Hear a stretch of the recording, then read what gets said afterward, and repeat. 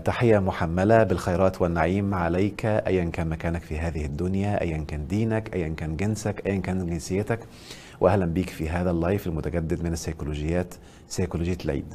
وقلت في البداية بحب أرحب بالناس المتواجدة وكويس إن أنتوا نبهتوني. آه آه، ربنا يوفقك يا رب. آه أهلا بهالة وأليلاك و آه، هرفة 369 ولطيفة وكل المتواجدين معانا في ال live النهاردة. طيب خلينا ندخل في الموضوع على طول لأن ال live مهم و... وأنا بعتبره من أهم وركزوا معايا في الحتة دي من أهم المعلومات اللي الإنسان عشان يكون متوازن في حياته ويعرف يعيش السعادة والسلام الداخلي ويعيش ال ال الراحة واللي بيسموها ال inner peace أو السلام الداخلي والهدوء والروقان والسكينة ويعيش النعيم لازم يكون عارف هذه المعلومات عشان يكون متوازن. وكالعادة آم، لا يسلم المعلومات اللي تخلي الناس عايشة بتوازن من بعض الأخطاء اللي ممكن تكون قد حصلت أو بعض المفاهيم الغلط فهنعرفها إن شاء الله بالتفصيل. ففي البداية بحب أسأل أسئلة عشان نكون محددين ونعرف إحنا نمشي فين وهنعمل إيه. فهناخد أول سؤال أول سؤال ليه سيكولوجية العيد؟ وما علاقة علم النفس بذلك. السؤال الثاني ما معنى العيد؟ وما معنى الاحتفال وكيفيته؟ السؤال اللي بعد كده هل يثاب من يهنئ غير المسلمين بأعيادهم؟ هو ممكن يثاب فعلا وياخد ثواب لما يهنئ؟ ماذا نفعل مع من يحرمون كل شيء تقريبا؟ في بعض الناس بيظهروا كده كل فترة بيحرموا كل حاجة. نعمل معاهم إيه؟ هل ما لم يفعله الرسول والصحابة يعتبر حرام؟ يعني لو في حاجة آه، إحنا ما وصلناش خبر إن هم عملوها يبقى هي غلط وحرام؟ هل فعلا لدينا في الإسلام عيدين فقط؟ إحنا عندنا في الإسلام عيدين بس زي ما بعض الناس اللي بيهاجموا وبيتكلموا بيطلعوا بيقولوها أدلة دينية مهمة من كتاب الله ومما نسب لرسول الله صلى الله عليه وسلم. وإعلان لجائزة ومبادرة هتغير مجرى العيد في الفترة القادمة إن شاء الله وهتكون مبادرة مهمة بإذن الله. طيب خليني أبدأ بالأول سيكولوجية العيد. يعني أنا ليه سميت الفايل ده سيكولوجية العيد؟ وإيه معنى سيكولوجية؟ وإيه اللي حاشر علم النفس في الموضوع ده؟ كلمة سيكولوجيا بتطلق لكل شيء بيتعلق بالنفس. وبالتالي لما نتعمق في النفس وتأثير الفكرة أو السلوكيات اللي بتتعمل أو الظرف على النفس ده اسمه سيكولوجية وأنا عندي وجهة نظر كأحمد عمارة إن الدين جاي يخاطب النفس وإن 90% في الغالب ويعني أنا آه، موقن إنها أكتر بس خلينا أقول 90% من الأوامر الدينية جاية علشان نفهمها فهم نفسي وعشان نفهمها ونطبقها صح مهم نفهم النفس. وبالتالي لما ندخل في سيكولوجية الشيء ونفهمه هنقدر نعي والوعي عندنا هيعلى وندرك الأبعاد العميقة اللي بتفيدنا في حياتنا من هذا الشيء. طيب إيه علاقة علم النفس بالموضوع اللي قد يكون في ظاهره ديني ده؟ خليني أقول لكم معلومة مهمة قوي إن العلم المسؤول أو المختص بدراسة الفكر هو علم النفس. بدراسة الفقه يعني كيف تفقه كيف تدرك ده علم النفس. تأثير القناعات والفلاتر المغلوطة والنظارات اللي ممكن يكون حد لابسها على المفهوم اللي بيدرس الكلام ده هو علم نفس. وبالتالي دوري أمام ربنا سبحانه وتعالى وأمام الناس بحكم تخصصي في علم النفس إن أنا لما ألاقي بعض البشر خطأ. طبعا أنا أحترمهم وأحسن فيهم الظن ولكن اللي خارج منهم أنا أراه خطأ من وجهة نظري ودايما بأكد لابد أن تتبين. إن ألاقيهم فهموا معلومات معينة بمفاهيم خطأ أو كان في نظارات أو كان في فلاتر فخرجوا منها بحاجة بتلوث وبتقدم معلومات غلط في المجتمع فدوري إن أنا أطلع أفك هذا اللبس وبينه للناس. وبإذن الله هيكون مفيد. فالفايل ده هيكون مفيد للشخص العادي اللي قد تكون معلوماته النفسية بسيطة أو معلوماته الدينية بسيطة. هيكون مفيد جدا كمان للمتحدثين في الدين ويا رب يا رب إن شاء الله يكون مفيد آه، ليهم لأن هو ده دورهم أصلا في المجتمع. فإن شاء الله بإذن الله أقدم بعض المعلومات اللي يكون تكون بتساعدهم. وإحنا عندنا جزء مهم من علم النفس اسمه علم النفس الدعوي. وعلم النفس الديني فازاي استفيد من هذه المعلومات وأنا بخاطب الناس وبكلمهم في الأمور الدينية؟ فإن شاء الرحمن يكون مفيد ليهم يا رب بإذن الله. عشان نفهم وبالتالي تبقى أنت عارف لأن للأسف الفترة اللي اتخطف فيها الدين وأنا بحب أسميها كده مننا وبقى بعض الناس الدين ده بقى حكر عليهم مش يقول لك ال- ال- ال- المغزى ولا يعلمك لا تسأله يقول لك آه أو غلط. دي حرام؟ آه حرام. لا حلال. طيب معلش ما أنت لما تقول لي حرام أو حلال وأنا خدتها من غير ما أفهم وركزوا معايا بالله عليكم من غير ما أفهم على ماذا استندت؟ إيه القاعدة اللي أنت استندت عليها؟ يبقى أنا كده بعبدك. ما أي حد بقى يطلع يقول حرام وأي حد يطلع يقول حلال. وبالتالي هنفكك إن شاء الرحمن بالتفصيل الموضوع ده وهنعرف بالظبط أنا كإنسان أعمل إيه مع أي حد بيجي لي بيديني نصوص أو بيديني فتاوي علشان تحرم معظم الحياة أو معظم البهجة زي ما هنعرف بعد شوية. فأنا هفهم كده عمليا وبالتالي هيبقى عندي أداة وتول مهمة قوي علشان ما حدش يقدر يلوث فكري أو يجعلني أعبده من دون الله سبحانه وتعالى. عايز بس أأكد أن ال- الحلقة دي قد تكون فيها بعض الصدمات فتقبل مني إن وجدت في الحلقة ما يصدمك وأنت مش مقتنع بيها حقك. ممكن تركنه كده؟ لأن آه، بعض الناس بيعمم وشيطان ساعات أوبا ده كذا! إكس على كله! يا سيدي خد المفيد. الذين يستمعون القول فيتبعون أحسنه. هتلاقي في الفيديو حاجات أنت شايفها حلوة مفيدة خدها. واللي لم تقتنع بيه خلاص اعتبرني يا سيدي غلطان ادعي لي ربنا يهديني يا رب وربنا يرينا الحق حقا. ويرزقنا اتباعه ويرينا الباطل باطلا ويرزقنا اجتنابه. فأنا مهم إن أنا أبقى شايف ومتعلم وما بقاش باخد الدنيا كده بحكم تعميمي يا أبيض يا أسود أقدر أنتقي. وإن شاء الله الرحمن هتلاقوا صدمات بإذن الله تكون مفيدة علشان نخرج منها بحاجات رائعة. طيب ده بالنسبة للفايلين. وعلى فكرة عايز أقول حاجة كمان مهمة قوي هنا إن أنا بتعمد بحكم تخصصي في علم النفس لما أتدخل في أمور قد تكون مفهومة دينيا غلط وأنا واجبي كمتخصص في علم النفس إني أتدخل لفك الفهم المغلوط هتلاقيني دايما بأكد بما إني متخصص في علم النفس. عندنا في علم النفس هفضل أكدها 500 ألف مرة لأن بعض الناس لما بيسمع وهو مش واخد باله داخل يقول لك هو ده بيتكلم في الدين هو ده بتاع دين أو رجل دين؟ لا أنا ماليش علاقة بالدين. أنا هناك ناس متخصصين في الدين أنا تخصصي سيكولوجي وبالتالي هأكد كل شوية على هذه المعلومات حتى وإن بعض الناس اللي درسوا بقى ال- آه، بعض ال- لغة الجسد كانوا بيقول لك آه ده بي ده بيأكد على مرة واحد قال لي على فكرة أنت بتقعد تأكد على علم النفس كتير وده دليل إن أنت ما عندكش ثقة إن أنت فعلا موتني من الضحك فقلت أشكرك على هذه النصيحة. وأشكرك على المعلومات اللي أنت درستها ولكن ليس كل ما يقدم عن لغة الجسد فأنا ممكن دلوقتي يكون مثلا مناخيري بتاكلني فأنا عملت كده فده في لغة الجسد معناها بيكذب. انت أوكي هم قالوا لك كده وأنت ماشي وراهم لكن أنا فعلا ممكن تكون حاجة بتاكلني هنا. اهو كلتني كمان أهي إيه المشكلة يعني؟ وبالتالي لما أنا أكون باخد المعلومات للحكم على الآخرين اعرف إن المعلومات دي فيها شيء خطأ وعشان كده أنا ما بط... يعني أنا بحكم شغلي في علم النفس ما بتطرقش في الحاجات اللي بتحكم على الناس. أنا متعلق أو بركز على أنت تعمل إيه مش تحكم على الآخر بإيه.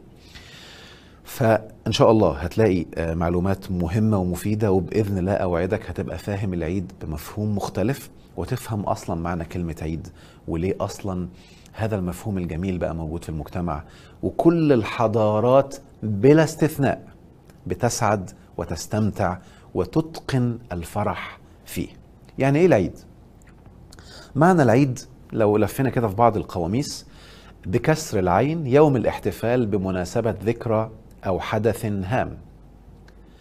كل يوم فيه جمع وأصل الكلمة من عادة يعود. كل يوم يحت... آه يعني كل يوم في جمع يعني كل يوم الناس بتتجمع فيه يعني وأصل الكلمة من عاده يعود. كل يوم يحتفل فيه بتذكار أحد الصالحين أو أحد الأبطال أو حدث وطني أو حدث وطني هام. يوم سرور يحتفل فيه بذكرى حادثة عزيزة أو دينية. ده يوم العيد. يعني إيه الكلام ده؟ يعني أي حاجة فيها إعادة بتتعاد وخلي بالكم الإعادة ممكن تكون مرة كل أسبوع ده يعتبر عيد أو مرة كل شهر أو مرة كل سنة أو بعض الناس مثلا مرة كل 25 سنة بيسموها مثلا اليوبيل الفضي أو مرة كل 50 سنة بيسميها اليوبيل الذهبي. المهم إن حاجة حدث كبير جميل قد يكون حاجة دينية ركزوا معايا الله يخليكم قد يكون حاجة دينية وقد يكون حاجة وطنية وقد يكون حدث عام. فمن يحشر موضوع الدين موضوع العيد في الأمور الدينية فقط هو أصلا مش فاهم معنى العيد. وأنا بحب دايما قبل ما أتكلم في أي موضوع أحدد المصطلحات عشان اللعب كتير أي حد عاوز يعمل مشكلة ويزنقك ويحسسك إنك مخطئ بيلعب في المصطلحات للأسف. فأنا بس ال comment ات خلينا يا مخرج بعد إذنك نوقفها عشان ما تلخبطش الناس. آه خلينا بس آه نعمل توقيف لل comments بعد إذنك. شكرا جزيلا. أيوه.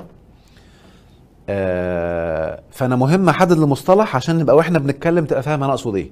يبقى لما أقول عيد يعني النهارده لو في يوم أنا مثلا مواليد واحد ستة فكل يوم واحد ستة أنا بشعر بالسرور وبهذا الحدث اللي جيت فيه العالم وتسلمت فيه المسؤولية في رحلتي الأرضية عملت مظاهر احتفال فده اسمه عيد. عندما يسمى عيد أنا مش بتكلم في شيء ديني هنا هو من الإعادة.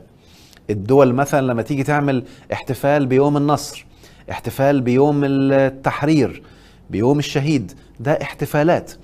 ودول كتير والدول اللي عندها وعي أو عندها ذكاء عاطفي بتكتر من أيام الأعياد لكسر الروتين. زي ما هنعرف بعد شوية أنا عشان أستفيد من العيد كسيكولوجية بقى أو أو مفهوم نفسي أو إضافة ترفع عن النفس مهم أفهم الخطوات اللي جاية دي. كيف أستمتع بالعيد؟ أو كيف نحسن الاستمتاع بالعيد؟ رقم واحد اكسر الروتين القديم ايا كان. يعني إيه الكلام ده؟ خلي بالك الحاجة اللي أنت بتعملها وتتكرر كل يوم اسمها روتين. يعني ميعاد صحيانك روتين طريقة لبسك روتين طريقة تعاملك مع الأمور. بعض الناس كده لو هو في شغلانة جادة كمثلا الخطباء السياسيين المعلمين آه، الناس اللي بيشتغلوا في شغلانات حربية عسكرية. شغلانة جادة بتخليك انت دايما جاد ودايما حازم ودايما حاسم. يبقى لازم يوم العيد تكسر هذا الروتين وإلا هيحصل لك مشكلة نفسية. وركز معايا بالله عليك. لما تكون انت بتتعامل مع الناس بطريقة معينة تيجي يوم العيد تكسر هذه الطريقة. انت كأب وانت كأم. طريقة تعاملكم في الحياة العادية يوميا مع الأولاد مهم تتكسر بطريقة يستغربوا منها ويفرحوا بيها يوم العيد. يبقى أنا أول قاعدة عشان أحسن الاستفادة من العيد وهو العيد أصلا معمول عشان كده. وهنعرف إن شاء الله الرحمن لما ندخل في الأدلة المهمة الرهيبة اللي بعض الناس بيداروها المتحدثين بالدين إما عن عمد وإما عن جهالة. إن الدين أصلا جاي بيقول لنا نعمل كده إن في أيام العيد اكسر الروتين ايا كان. وبالتالي حتى الطرق أنت مثلا متعود تنزل من البيت تمشي بطريقة معينة اكسر روتين بتركب عربية كل يوم اكسر روتين امشي. اركب مواصلات. المهم تكسر الروتين. والقاعدة دي بتعمل لك حالة من الريفرش أو البهجة في النفس وبتكسر حالة الجمود فتلاقي الإنسان بدأ يستعيد مشاعر إيجابية وطاقة جميلة وطاقة جميلة. وحاجة مهمة كمان لو خدناها بتعمق أكتر العقل اللاواعي. لما أنت تكون بتعمل الحاجة بروتين بيغيبك عن الوعي. والدليل بعض الناس تلاقيه مثلا وهو سايق تلاقيه فجأة وصل البيت هو ما يعرفش أصلا هو كان ماشي إزاي كان سرحان بتعمل حاجة أو مثلا بتصلي تلاقي نفسك فجأة بتسلم. فأنت معنى كده إن أنت بتعمل الحاجة بروتين فلما العقل يلاقي الحاجة أنت بتعملها بروتين بيغيب الوعي فالحضور بيغيب. لكن أول ما تكسر الروتين بتبقى هنا والآن بتحضر. فلما تحضر تبدأ المتعة. اكتبوها قاعدة كده عند الحضور عند العيش في اللحظة عند العيش هنا والآن بتبدأ المتعة. وبالتالي كسر الروتين في اللبس وفي الشكل طريقة تسريحة الشعر طريقة المشي الخروج أيا كان بقى كل التفصيلات. كل ما كسرتها كل ما عشت اللحظة واستمتعت. ودي من أهم فوائد العيد سيكولوجيا. النقطة رقم اتنين اللي تعملها علشان تستفيد وتحسن الاستمتاع بالعيد مارس ما يدخل عليك البهجة. وخلي بالكوا بقى اوعى تخلي حد يخصص لك شكل البهجة.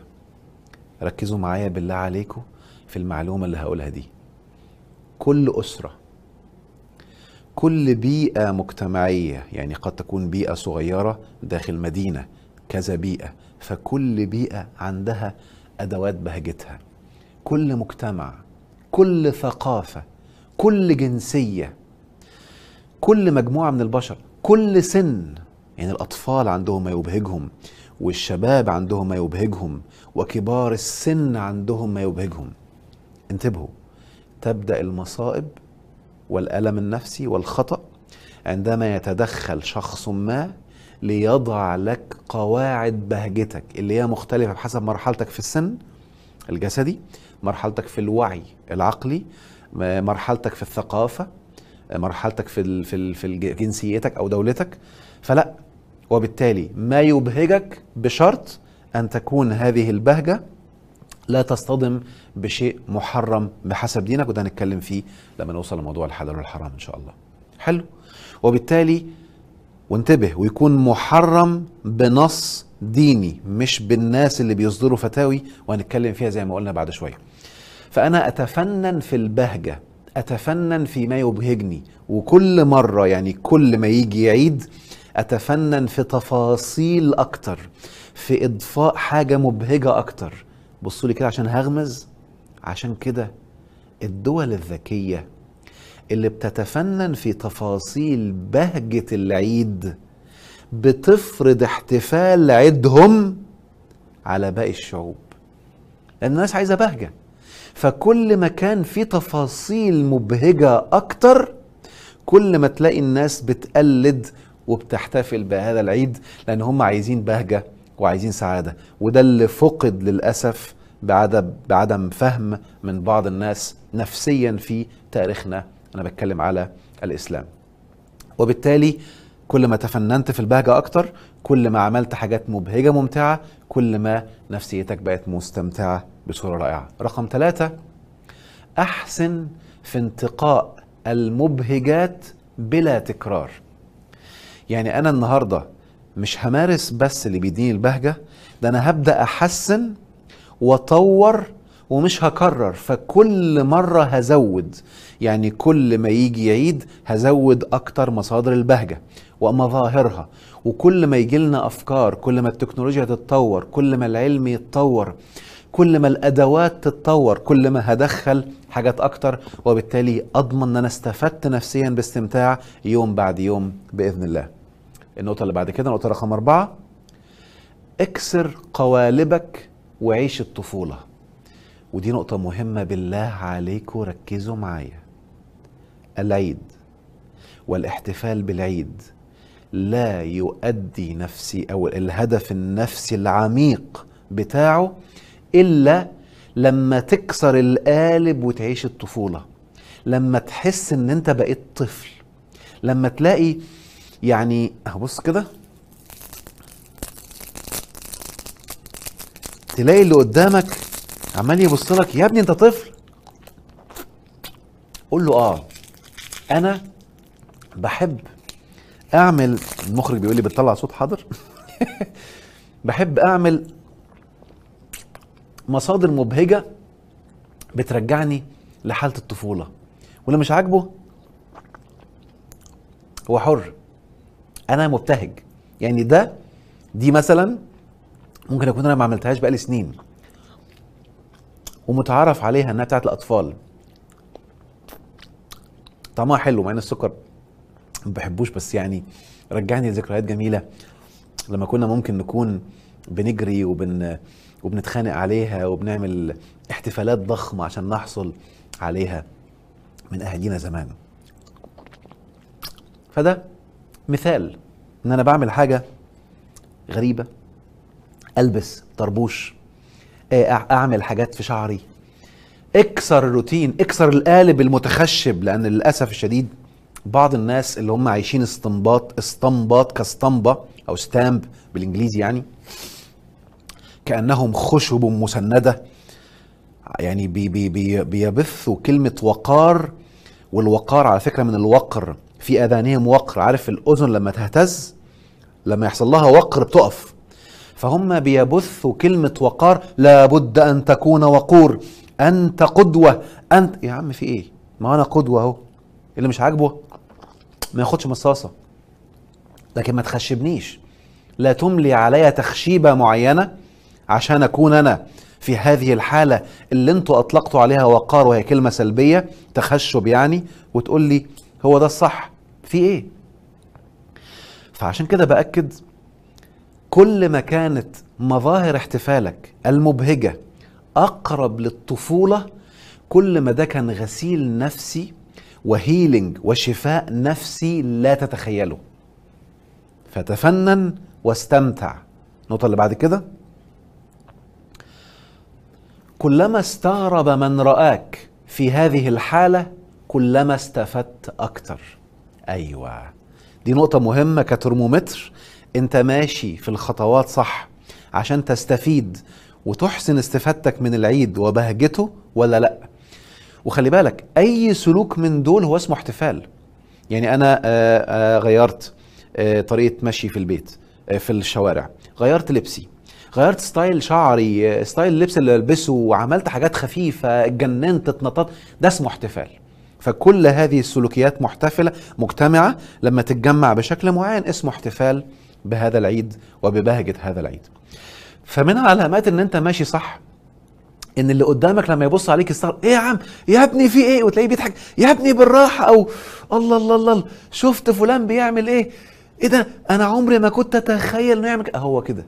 ده معناه إن أنت بتتقن وتحسن الاحتفال بهذا العيد وبإذن الله هيجي لك بهجته وسعادته. النقطة اللي بعد كده الغناء والرقص من أهم شروط الاحتفال بالعيد. الله عليك. طبعا خليني أقول لكم حاجة مهمة قوي الأحبة المتمسكون برأي فقهي قديم يقول بأن الغناء حرام أنا متمسك برأي آخر يقول أن الغناء حلال ما لم تكن هذه الكلمات اللي فيها تشير إلى حاجة محرمة. فبالله عليك أنا عارف وجهة نظرك وهذا الخطاب ليس لك. حلو؟ فإذا كنت أنت ممن يتمسك بالرأي القائل بهذه الحرمة فالجزئية دي مش بتاعتك سيبها وخش على اللي بعدها. خلاص؟ ركزوا معايا في الحتة دي. الطفل بفطرته السوية اللي ربنا فاطر عليها كل البشر أول ما تقعد معاه وتبدأ تعمل كده هتلاقيه بدأ يعمل كده على طول. هو الفطرة بتاعتنا حالة الاهتزاز والرقص. طبعا للأسف كلمة رقص كلمة تشتمل 500 ألف تفصيلة. هناك رقص عند المتعة. يعني واحد فرحان وسعيد فبيعبر عن سعادته بالرقص والحركة الجسدية.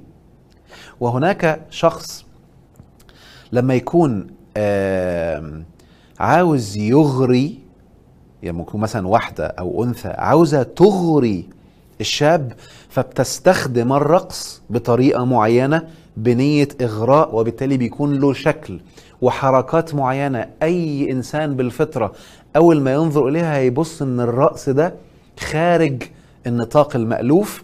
وبدأ يكون له مغزى مش مظبوط فبيبان عليه.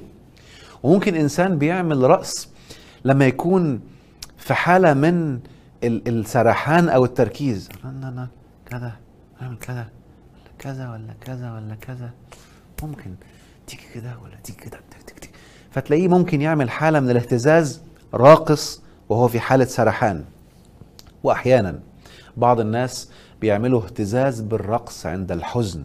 عشان يخرج الطاقة لأن الاهتزاز ركزوا معايا في الحته دي عشان مهمه قوي. من أساليب تفريغ الطاقة من الجسد الاهتزاز. فلو الواحد آه، جات له فكرة أو معلومة شحنت جسمه فجأة بطاقة إيجابية ودي بنقولها كتير في كورس الطاقة واللي دارس طاقة فاهمها فشحنت جسمه بطاقة إيجابية بس أعلى من اللزوم فالجزء الزيادة ده يعتبر مضر. فالجسم بيهتز بعنف عشان يفرغ هذه الطاقة وبنسميه الضحك. فده اهتزاز. فالاهتزاز نوع من تفريغ الطاقة. ولما يحصل خبر أو معلومة تشحن الجسم بطاقة سلبية أزيد من اللازم مضرة الجسم بيعمل نفس الاهتزاز بس سلبي وبنطلق عليه بكاء. وبالتالي اللي لا يضحك باهتزاز أو اللي متخشب ده بيضر نفسه تدمير ذاتي رهيب. واللي بيبكي بتخشب بلا اهتزاز بيضر وبيدمر نفسه تدمير ذاتي رهيب. فانت مهم تهتز وتبقى سامح لجسدك بالاهتزاز علشان تنفس عن الطاقة دي. فمن أهم ونعرف بأدلة رهيبة جدا بعدين إن شاء الله في الآخر من أهم سمات الاحتفال إنك تكون بتدندن ممكن تمسك ولادك كده ترقص معاهم. يلا حبيبتي الله حبيبتي الله شطورة. يلا. العيد فرحة العيد فرحة أنا برقص أهو. إيه المشكلة؟ ولكن في بعض الناس كلمة رأس عندهم يعني جنس يعني فاحشة. هم عندهم خلل في مفاهيمهم فسيبك منهم. ركز معايا كده في الجملة اللي هقولها.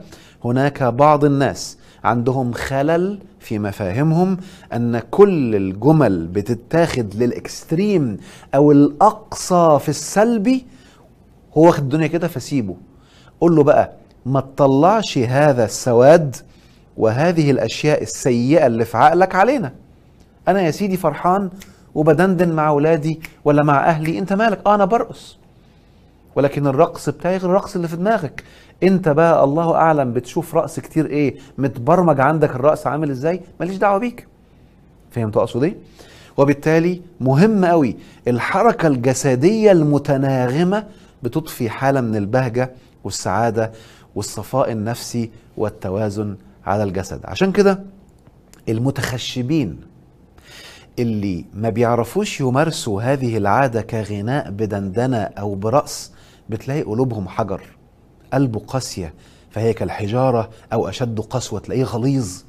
تلاقيه دايما بيسقط الأحكام السلبية على الآخرين يسيء الظن على الآخرين داخلك كده أعوذ بالله. إيه يا عم في إيه؟ الدنيا مش كده. خف وإما تقتنع أو تسيبنا براحتنا بلا أحكامك. الحمد لله. نشكر لله سبحانه وتعالى أنه هو الحكم العدل إن الحكم إلا لله.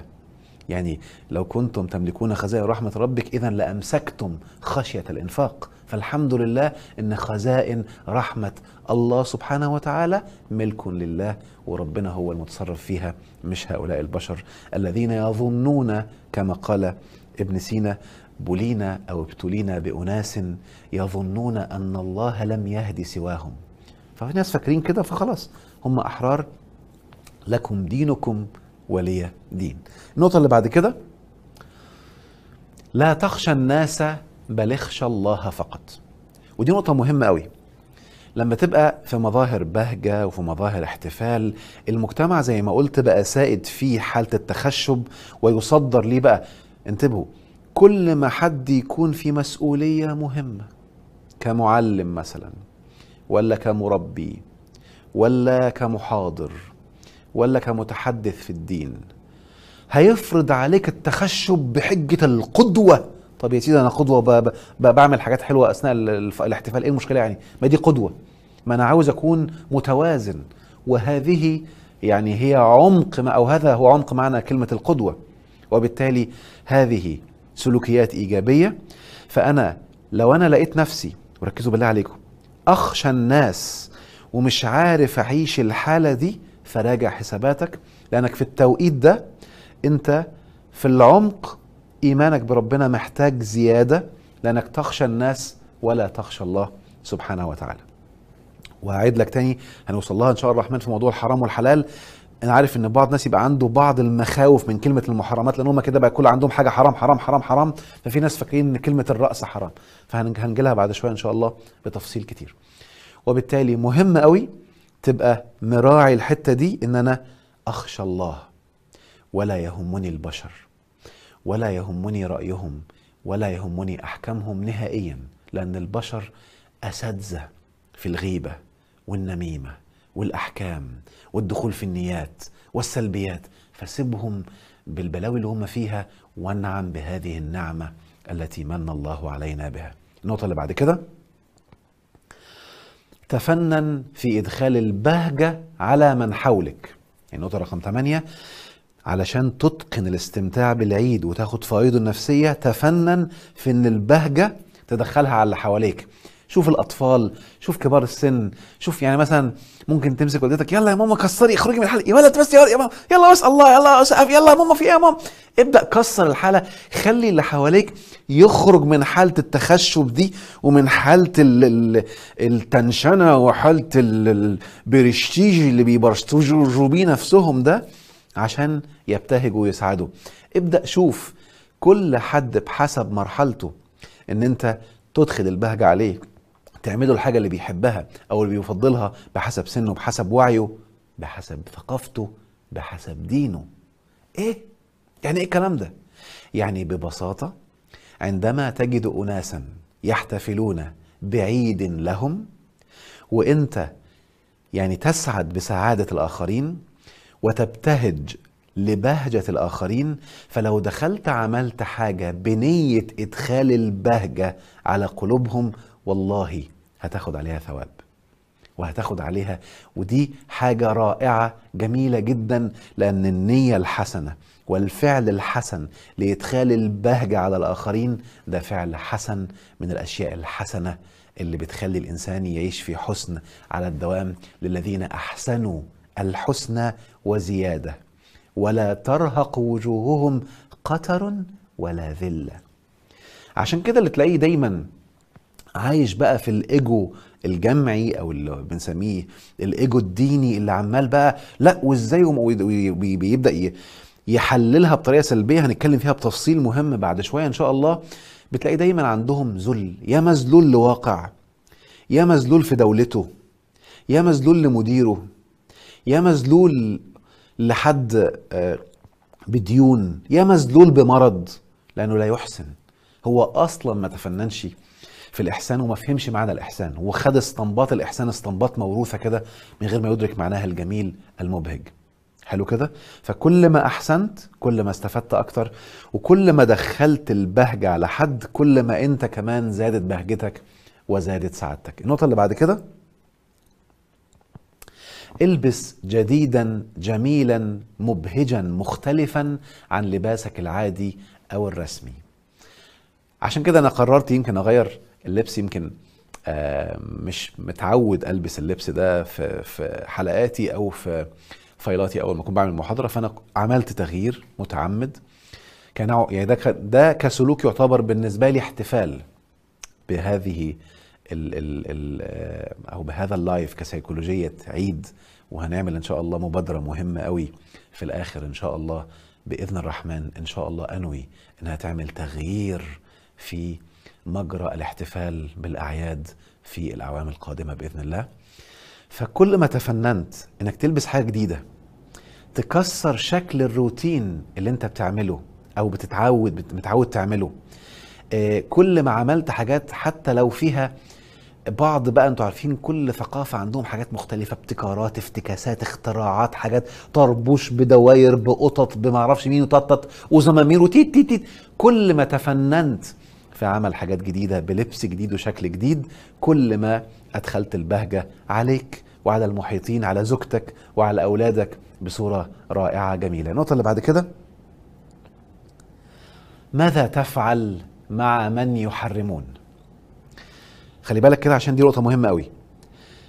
أنا اتكلمت عن إزاي أحسن عشان فعلا آخد الفوائد النفسية المذهلة للاحتفال بهذا العيد ويحقق المغزى النفسي بتاعه. يكسر لي حالة الجمود يكسر لي حالة الروتين فأعيش اللحظة وأحضر هنا والآن. فلما ينتهي إذا كان يوم أو يومين أو ثلاثة وأبدأ أرجع لحياتي العادية. برجع بطاقة جميلة بطاقة مبته- مبتهجة. بأحسن أكتر في شغلي. خلي بالكم. من تفنن في الإحسان في الاحتفال سيتفنن في الإحسان في غير الاحتفال. هقولها بصياغة ثانية. المحسنون في احتفالاتهم متقنون محسنون في وظائفهم. وبالتالي تفنن بس في إحسان احتفالك تطوره جدده هتحسن في عملك وهتطوره. وما عدتش هتعرف تعمل حاجة بروتينية ترجع مبتهج يا جماعة طب ما نعمل كذا طب كذا وتلاقي نفسك بتطور وبتحسن بصورة رائعة. في المجتمع اللي إحنا فيه بقى المرجفون في المدينة. في ناس قاعدين يعني طمست على قلوبهم الغلظة عايشين فاكرين إن هم كده يعني ال ال ال ال يعني مش عايز أتكلم عليهم سلبي. ربنا يهديهم يا رب وينور بصيرتهم ويهديهم للتبين مش الاتباع بعمى. هتلاقيهم من قوم عاد. كل عيد بيعيدوا نفس الموضوع عاد. كل التفاصيل copy و paste محفوظين. هم فتوتين ثلاثة بينشروهم في كل حتة حتى ما قعدش يتبين زي ما هنتكلم بعد شوية. انت بقى تعمل إيه؟ في هذه البهجة وهذه الأيام الجميلة مع أمثال هؤلاء اللي إخوة لنا في المجتمع نختلف معاهم ندعي لهم ربنا يهديهم ولكن لكم دينكم ولي دين. تعمل معاهم إيه؟ رقم واحد تفقه في دينك وافهم سيكولوجية الحلال والحرام. انتبه بالله عليك. خدوها قاعدة مهمة قوي الحلال أو الحرام الحرام لا يستنبط. هعيد الجملة تاني. الحرام لا يستنبط. الحرام لابد فيه من نص. حلو. ومهم تكون فاهم سيكولوجية الموضوع عاملة إزاي. لأن الحرام والحلال ليهم مغزى نفسي اللي أنا بسميها سيكولوجية. أن الحرام وركزوا هقول قواعد صادمة دلوقتي. وليعذرني من هو غير مقتنع باللي هقوله. الحرام هو الخبيث والحلال هو الطيب بتعريف كتاب الله سبحانه وتعالى. يحل لكم الطيبات ويحرم عليكم الخبائث. وركزوا بالله عليكم خدوها كده خطوط كده. معلش قد تكون صادمة شوية أنا آسف. الخبيث هو اللي حرام على الراجل. وحرام على الست وحرام على الطفل. فمن علامات الحرام إنه خبيث. يعني ما ينفعش الطفل يعمله وما ينفعش الراجل يعمله وما ينفعش الست تعملها. إذا لقيت حد بيتلاعب وبيعمل لك حرامات لناس وناس تانية اعرف إن في لعب.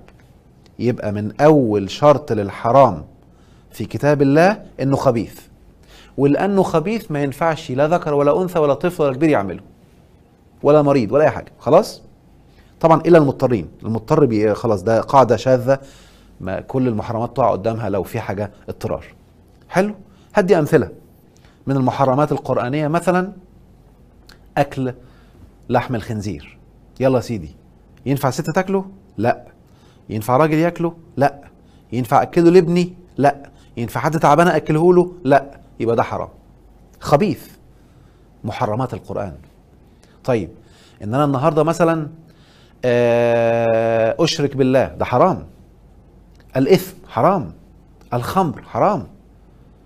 آه يبقى أنا مهم أفهم القاعدة دي عشان ما يجيش حد بعد كده يلبس لي الدنيا ويلخبط لي الدنيا. حلو طيب. النقطة اللي بعد كده كمان إيه؟ إن الأصل إحنا لسه في أول نقطة بس أنا بقى البند اللي فيها التاني بقى. إن الأصل في الأشياء هو الإباحة. ما لم يرد نص لتحريمها. هعيد تاني دي قاعدة فقهية أصيلة. أي حد درس دين عارفها أي مخلوق دي قاعدة بديهية يعني. الأصل في الأشياء هو الإباحة. ما لم يرد نص بتحريمها. حلو. يعني اللي بيحرم هو اللي يجيب لي نص. فلو لقيت حد كده بيقول لك إيه؟ أنا عاوزك تثبت لي إنها حلال. اضحك وسيبه. مش هينفع تتناقش معاه. لأن هو المنهج عنده أصلا فيه مشكلة. ده هو اللي بيحرم هو اللي يثبت مش اللي بيحلل. يعني النهارده ما ينفعش حد يقول لي اثبت لي ان التصوير بالكاميرا حلال. يا عم في إيه؟ الأصل في الاشياء الإباحة. اثبت لي إن ركوب الطيران الطيارات حلال. هو إيه يا عم في إيه؟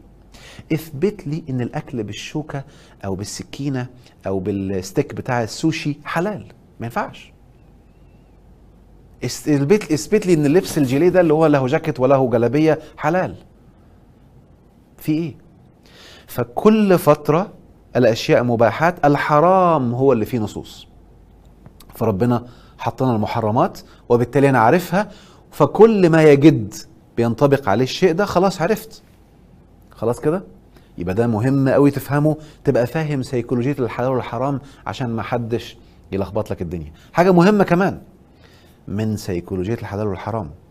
إن ربنا قال لنا في كتابه إن هناك مؤمنين مؤمنين بكتابه يحرمون طيبات ما أحل الله.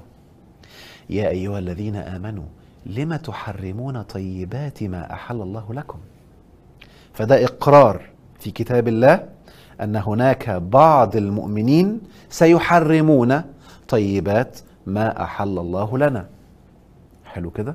واكيد هتبقى عارف بقى إيه الطيبات اللي حرمت كتير في المجتمعات. عشان كده ربنا قال لهؤلاء ولا تقولوا لما تصف ألسنتكم الكذب هذا حلال وهذا حرام. يعني المفروض إن أنا ما أقولش على حاجة حلال ولا حاجة حرام لأن ربنا وضع تشريع فأنا مش هفتي هو موضحها خلاص. فهمت أقصد إيه؟ أحل لكم الطيبات. شيء طيب اذا حلال. مش هقعد افتي بقى. ولا هقعد الوي الطيب ده كده عشان هنتكلم فيها بعد شوية عشان أخليه وحش. لا. فأنا القواعد دي واضحة في ذهني فما حدش هيعرف يلخبطني ولا يشككني ولا يخوفني. حلو. النقطة اللي بعد كده. فرق ما بين الفعل والنية. خلي بالكم.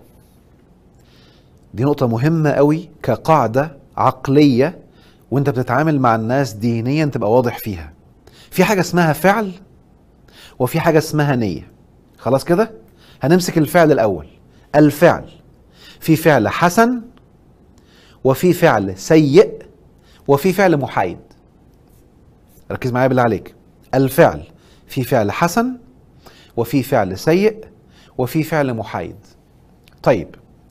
الفعل الحسن زي ان أنا النهارده ادي لحد فلوس. ده فعل حسن. الفعل السيء إن أنا أضرب حد. ده فعل سيء. طيب فعل محايد إن أنا مثلا أبقى قاعد مثلا كده أهو. ده فعل محايد. بهرش ده فعل محايد. آم، قاعد مثلا بكتب. ده فعل محايد. حلو. يعني إيه فعل محايد؟ يعني نيتك هي اللي بتحدد الفعل ماشي في أنهي اتجاه؟ يعني إيه الكلام ده؟ يعني النهارده مثلا أنا بعمل هرش بطريقة معينة عشان أجذب انتباهك ليا عشان حد يخش يسرقك فبقى الفعل بنيته هنا ماشي في اتجاه سلبي. هتحاسب عليه. يعني أنا عملت هذا الفعل بنية تشتيت انتباهك لكي تسرق. آه يبقى هنا النوايا بتدخل. حلو كده؟ وبالتالي الاحتفال فعل حسن أصلا. واحد بيحتفل هي يس الله أكبر. فعل حسن. إيه المشكلة فيه؟ أنا بحتفل. ده فعل جميل. الرقص وهز الجسم فعل حسن. آه ثانية واحدة بقى. أنا جيت كأنثى. وقفت قدام راجل. وقعدت أستخدم هذا الفعل. لكي أثير مفاتنه. آه اقفي هنا. يعني ما حدش يجي يقول لي الرقص غلط. لا ما هي لو قاعدة في بيتها بترقص عادي. الرقص مفيش مشكلة خالص. ترقصي زي ما أنت عايزة. ارقص زي ما أنت عايز. فالرقص كفعل مفيش فيه مشكلة نهائي. أنا أهو برقص أهو. إيه المشكلة يعني؟ كفعل. ليس فيه أي مشكلة. ولكن النية لما تدخل ساعتها بقى هي اللي بتحدد وخد المفاجأة. والله أعلم بالنوايا. وإياك أن يتدخل حد في نيتك ليوهمك نية هو اللي شايفها. والحمد لله أن الله هو المطلع على النوايا وهو اللي بيحاسب على النوايا فابتسم وأهدأ عشان ما حدش يلخبط لك دماغك. حلو كده؟ يبقى مهم جدا في النقطة دي الفرق بين الفعل والنية. في فعل حسن في فعل محايد في فعل سيء. خلي بالك بقى لو حد عمل فعل سيء بنية وحشة بنية إيجابية هيتحاسب عليه. يعني ما ينفعش أضربك عشان اعلمك الأدب. ما ينفعش النهارده أعمل غيبة غيبة اقصد ونميمة عشان أحذر. أهو للأسف هؤلاء البشر اللي عندهم المفهوم الديني متلخبط بيفعلوا أفعال سلبية منهي عنها في الدين ويلبس عليهم إبليس لباس إيجابي يزين لهم هذا الفعل فيروه حسنا فيعملوا مصايب ويخشوا جهنم لأنه ما انتبهش للقاعدة دي. فالأفعال السيئة في نص ديني ليها مش هنألف فيها. وبالتالي مثلا ولا تسبوا الذين يدعون من دون الله. يعني نهي إن أنا أشتم آلهة حد تانيين أو أتريق عليهم أو أسخر منهم. الفعل ده فعل سيء. فما يجيش حد بنية يعني إيجابية لا أنا هشتمهم عشان أبين لهم قوتنا أو عشان أخليهم ي... لا الفعل فعل سيء اوعى حد يضحك عليك ويتدخل الشيطان يوضع لو وضع النوايا عشان يلخبط لك الدنيا فانتبه من القاعدة دي. خلاص؟ خليها حلقة في ذهنك وحلقة واضحة. طب الفعل الحسن أنا ممكن أعمله بنية سيئة؟ آه النية بقى تتحاسب عليها. يعني بعض الناس مثلا ممكن يقول لحد إيه؟ ممكن يدخل مثلا حد النهارده آه عامل عامله امبارح وأنا نيتي أفضحه. حلو كده؟ نيتي أفضحه. فأقوم داخل قايل له مبروك على الحاجات الحلوة اللي أنت عملتها امبارح. اهي المباركة فعل إيجابي.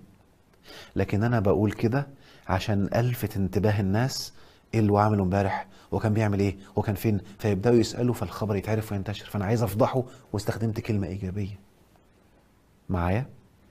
أو واحد النهارده عمل حادثة وتألم وتعبان فأنا داخل بقول له ألف مبروك. بديله أنا يعني فرحان فيه بقول كلمة إيجابية ولكن من جوه أنا عايز أقلمه نفسيا. أنا فرحان إنه عمل حادثة أو إنه اتألم أو إنه اتوجع. فلا انتبه. طب تعالى برضو مثال تاني الفعل السيء.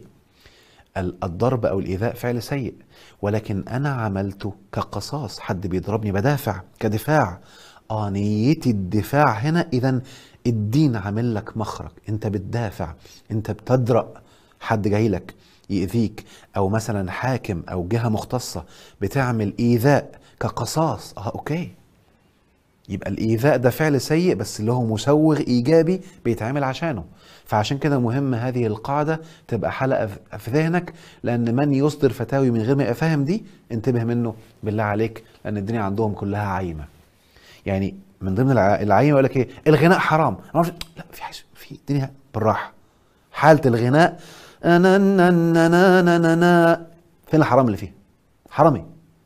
فاللي بيقول لك الغناء حرام وبيعمم اعرف إن هو أصلا هذا الفقه بتاع التفصيل هو عنده فيه مشكلة. ما هوش مدركه لا يفقهه أصلا.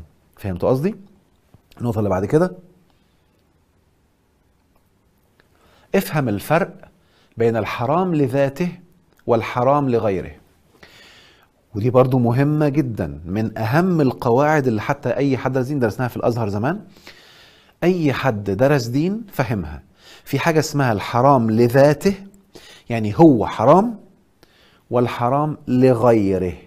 يعني الشيء من مش حرام بس الفعل اللي أنا هستخدم هذا الشيء فيه هو اللي حرام. يعني إيه الكلام ده؟ يعني مثلا ربنا حرم لحم الخنزير هو حرام لذاته. أهو. لحم الميتة. الميتة خلاص ميتة وميت. ده حرام لذاته. حلو. حرمنا عليكم كل ذي ظفر. فالمخلوقات والحيوانات اللي عندها ضوافر هو ده حرام لذاته. خلاص معروفة أهي. ربنا مثلا في القرآن بيقول إيه؟ إن بعض الظن إثم فالظن ده اللي هو بي بي بيضيع العقل وبيخلي الإنسان يعيش يتوهم عن الحقيقة ده حرام مصيبة. خلاص كده؟ وبالتالي آه إن أنا مثلا آه وأن تقولوا على الله ما لا تعلمون. عملية إن أتكلم على ربنا من غير ما يبقى عندي علم دي حرام. اللي بقت عادي في المجتمع دلوقتي. للأسف ما بسمعش حد بيتكلم عنها في المتحدثين في الدين لانها بقى منتشره جدا من من المحرمات الكبيرة اللي ربنا جايب أو منزل فيها كذا آية. ده حرام لذاته. يعني إنك تيجي كده تتكلم على ربنا وأنت أصلا مش عارف ال- ال- المصدر اللي جبت منه العلم والعلم يكون ربنا قال عن نفسه في كتابه يعني معلومة واضحة كده من دماغك أو بظنك؟ لا. دي مصيبة. يعني دي لوحدها أصلا حرام. فدي محرمات واضحة. خلاص. طب الحرام لغيره. يلا يا سيدي. التلفزيون. الكاميرا الغناء. ده حاجة عادية جدا محايدة. لا هي حرام ولا هي حلال. فاللي بيغني لا هو حرام ولا حلال. اللي بيرقص لا هو حرام ولا حلال. اللي بيحتفل لا هو حرام ولا حلال. اللي بيشوف التلفزيون لا هو حرام ولا حلال. بس خلاص محايد. تعالى بقى. انت النهارده بتتفرج على التلفزيون على أفلام اللي بالي بالك. أهي دي غلط. وصلت مشاهدة أجساد الآخرين بالمنظر ده ونشر الفاحشة بالمنظر ده غلط. خلاص أنت فهمت. واحد النهاردة بيعمل كلمات أغنية عشان ركز معايا بقى هو عاوز يوقع الناس في ال في ال في الكبائر وفي المصايب وبيستخدم ألفاظ قذرة فيها فحش في القول. آه أقول لك الحتة دي مش الغناء حرام دي لغيره. فهمتوا قصدي؟ واحد النهارده بيستخدم كاميرا لكن التصوير حرام لا يا عم فيه. لكن أنا بستخدم كاميرا. وعمال أهتك ستر الناس وأخبيها وأصور الناس في أماكن معينة لفضحهم فيما بعد دي مصيبة سوداء فأنت مهم هذه القاعدة تبقى حلقة في ذهنك. حرام لذاته وحرام لغيره. يلا يا سيدي. الحرام لذاته واضح فيه النص. فهل بقى الرقص حرام لذاته؟ الغناء حرام لذاته. الاحتفال حرام لذاته. الله عليك. يقوموا هم جايين لأن ده معروف أصلا مش هيعرف يلاقي نص. يقوم هو جاي بقى هو للأسف اللي بيركب لك النية السلبية ويوهمك إن أنت بتعملها كده عشان يحرمها لك. في إيه؟ يعني إحنا ابتلينا للأسف ببعض الناس يعني بكل حب وبكل مهنية أنا بشخص تشخيص نفسي دلوقتي عندهم أمراض نفسية. ده مش شتيمة ولا ده زي ما أقول حد عنده برد أو بقول حد مثلا عنده آم آم مشكلة في الكلى أنا مش بش مش بشتمه. فلما أقول حد عنده مرض نفسي يعني هو لا يحسن التقبل اللي ما بيعرفش يسامح ده عنده مرض نفسي ده مرض نفسي عدم القدرة على العفو والتسامح ده مرض نفسي ده مرض قلب واضح يعني. اللي عنده عدم ثقة في نفسه ده مرض نفسي. خلاص؟ أمراض النفس في علم النفس اللي هي في القرآن اسمها أمراض القلوب. خلاص كده؟ فكل ما يسمى أمراض القلوب في القرآن اللي هي عندنا في المصطلح الحديث في علم النفس اسمها أمراض النفس. طيب. فتلاقي بعض الناس دول عندهم بعض القناعات إن الحياة مشقة والحياة تعب والدنيا ابتلاء.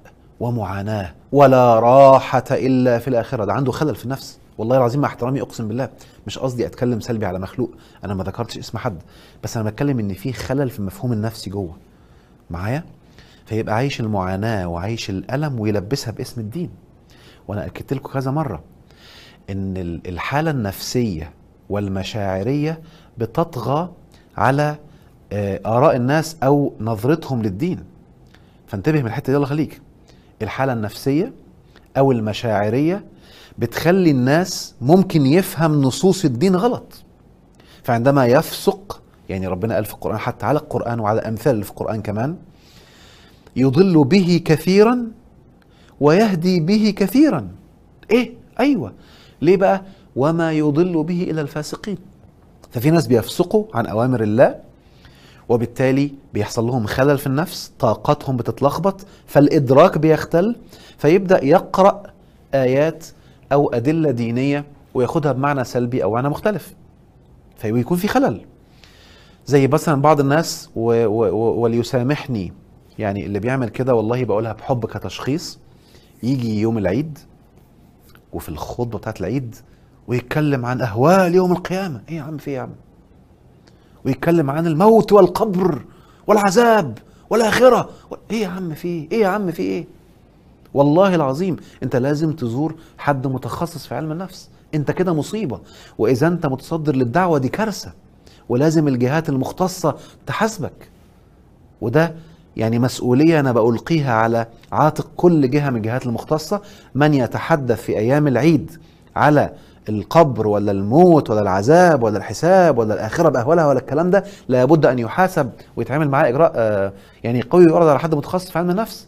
لا في مشكلة في خلل رهيب هنا كده. معايا؟ يعني هو مش كفاية إنه يخليهم واعدين بس لا ده فيهم كمان هيتكلم في السلبي. يعني إيه ده؟ يعني يعني ده منشفها على الآخر ربنا يكون في عون الناس ويكون اللي معاه ربنا يعينه يعني.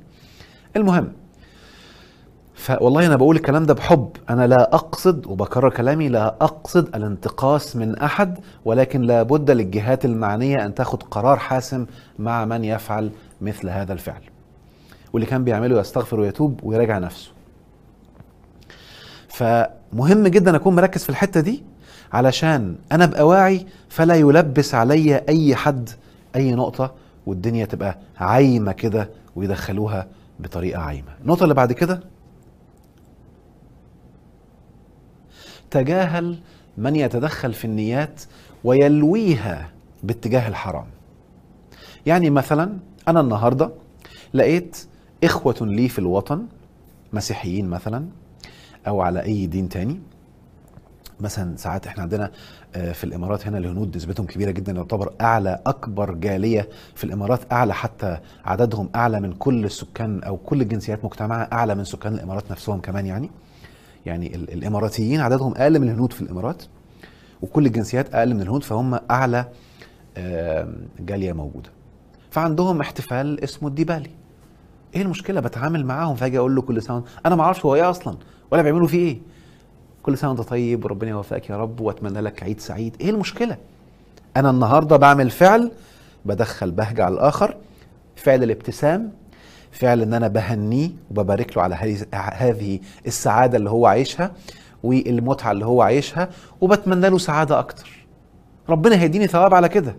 ادي الفعل وادي النية. يوم جاي لي حد بقى من اللي بيلوي الأعناق النيات بمزاجه. طب أنت عندك مشكلة في النوايا؟ وعندك خلل في الإدراك؟ أنا مالي ما تجيش تعمل لي الكلام ده بقى. يقوم داخل أعوذ بالله. هل تعلم أن ديوالي ما أعرفش إيه وبيقولوا عنه إيه؟ وأنت كده لما تقول له كل سنة وأنت طيب فأنت تقر يا عم في أول ما يعملك أقول له إيه؟ كل سنة وأنت طيب. عندما تهنئ غير المسلمين فأنت تقول أنت بتحتفل بعيد ميلاد الرب والرب لا يولد. وما له كده. كل سنة وأنت طيب. بقى أنت. يا عمو يا جميل انت. متخيل بإدراكك الجميل إن أنا إلا أظن أني أعبد الله ولا أشرك به شيئا. وبرجع الناس لكتاب ربنا عشان يحسوا متعة الاتصال بالله. الواحد الأحد. أنت بقى فاكر بدماغك وبعقليتك إن أنا في أحلامك هقول إن ربنا بيتولد؟ ربنا يكون في عونك والله العظيم. راجع إدراكك. أنا متخصص في علم النفس وبالمصاصة أهو. بقول لك أنت عندك خلل في الإدراك. يا عمو ما تيجي ترقص معانا. كل سنة وأنت طيب يا جميل. بس خلاص. خدها ببساطة. خدها بهذه الحالة من ال ال يعني هم بيكلكعوا انت بسط هو بيضخم يدخل. زي ما اتفقنا بقى الدنيا كلها عنده ملخبطة. يلبس الفعل على النية وياخد أسوأ نية يلبسها لك عشان يجد مسوغ من وجهة نظره لأنه يحرم. فاعمل معاه كده بالظبط. حبيبي أنا عندي ناس. أنا إنسان بأحسن للآخرين وأنا إنسان بحب إن الناس يكونوا مبتهجين ويكونوا سعداء وأنا هعمل عمل لإدخال البهجة عليه. فلما ألاقيه سعيد هقول له أنا سعيد بسعادتك وأنا فرحان لفرحك ويا رب يزيد أيامك فرحة. شكرا. هذه نيتي التي يعلمها الله وهذا سلوكي الذي يعلمه الله. بس خلاص. أنت بقى هتكلكع لي خليك أنت وكلكعتك على جنب. لا تعنيني ولكم دينكم ولي دين. خلاص بقى. وخد دينها ببساطة. يعني شوف أنا قلت في الاحتفال تبقى زي الطفل فأنت تتعامل معاه بطفولة. عمو قرأ إيه يا عمو. يا عمو في يا عم الله يخليك بس الواحد مبسوط والناس مبسوطة وأنا مبسوط ما تكلكعليش الدنيا الله يخليك. اللبخ اللي عندك ده سيبك منه مش بتاعنا خالص. وتعامل معاه بهذه الطريقة. هتلاقي الدنيا مشيت بسلاسة وببساطة رائعة. النقطه اللي بعد كده. من يحرم هو الذي يأتي بدليل وليس العكس. هعيد الجملة تاني. قلتها في في الفهم سيكولوجية الحلال والحرام. مفيش حاجة اسمها حرام كده بالاستنباط. اللي يجيب لي حرام هو قعد فاكتشف إن دي حرام تجيب لي النص يا حبيبي. هات لي النص. النص اللي بيقول لي أن هذا الفعل حرام أو إن النية اللي أنا كنت ناويها كادخال السعادة والبهجه على غيري حرام. بس خلاص. جبت لي نص إن النية إن أنا ألاقي أي مخلوق إن شاء الله لو بيعبد الصرصار إن أنا أدخل أدخل البهجه على نفسه. خلاص كده؟ لو في نية أو في نص بيقول لي نية إدخال البهجه على حد حرام آه تعالى هات لي النص.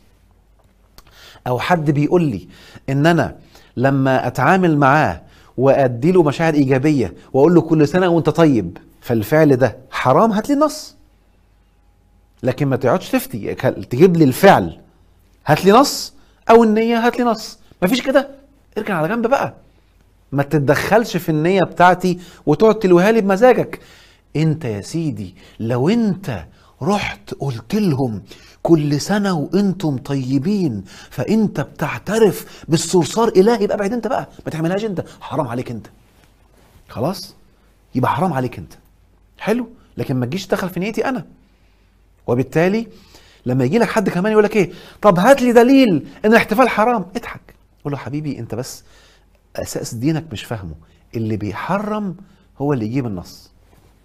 الاحتفال حلال آه. هات لي دليل إن الاحتفال حلال قول له بس. انت حبيبي انت أساس دينك مش فاهمه. الاصل في الاشياء الاباحه. حلو اللي بيحرم هو اللي يجيب النص.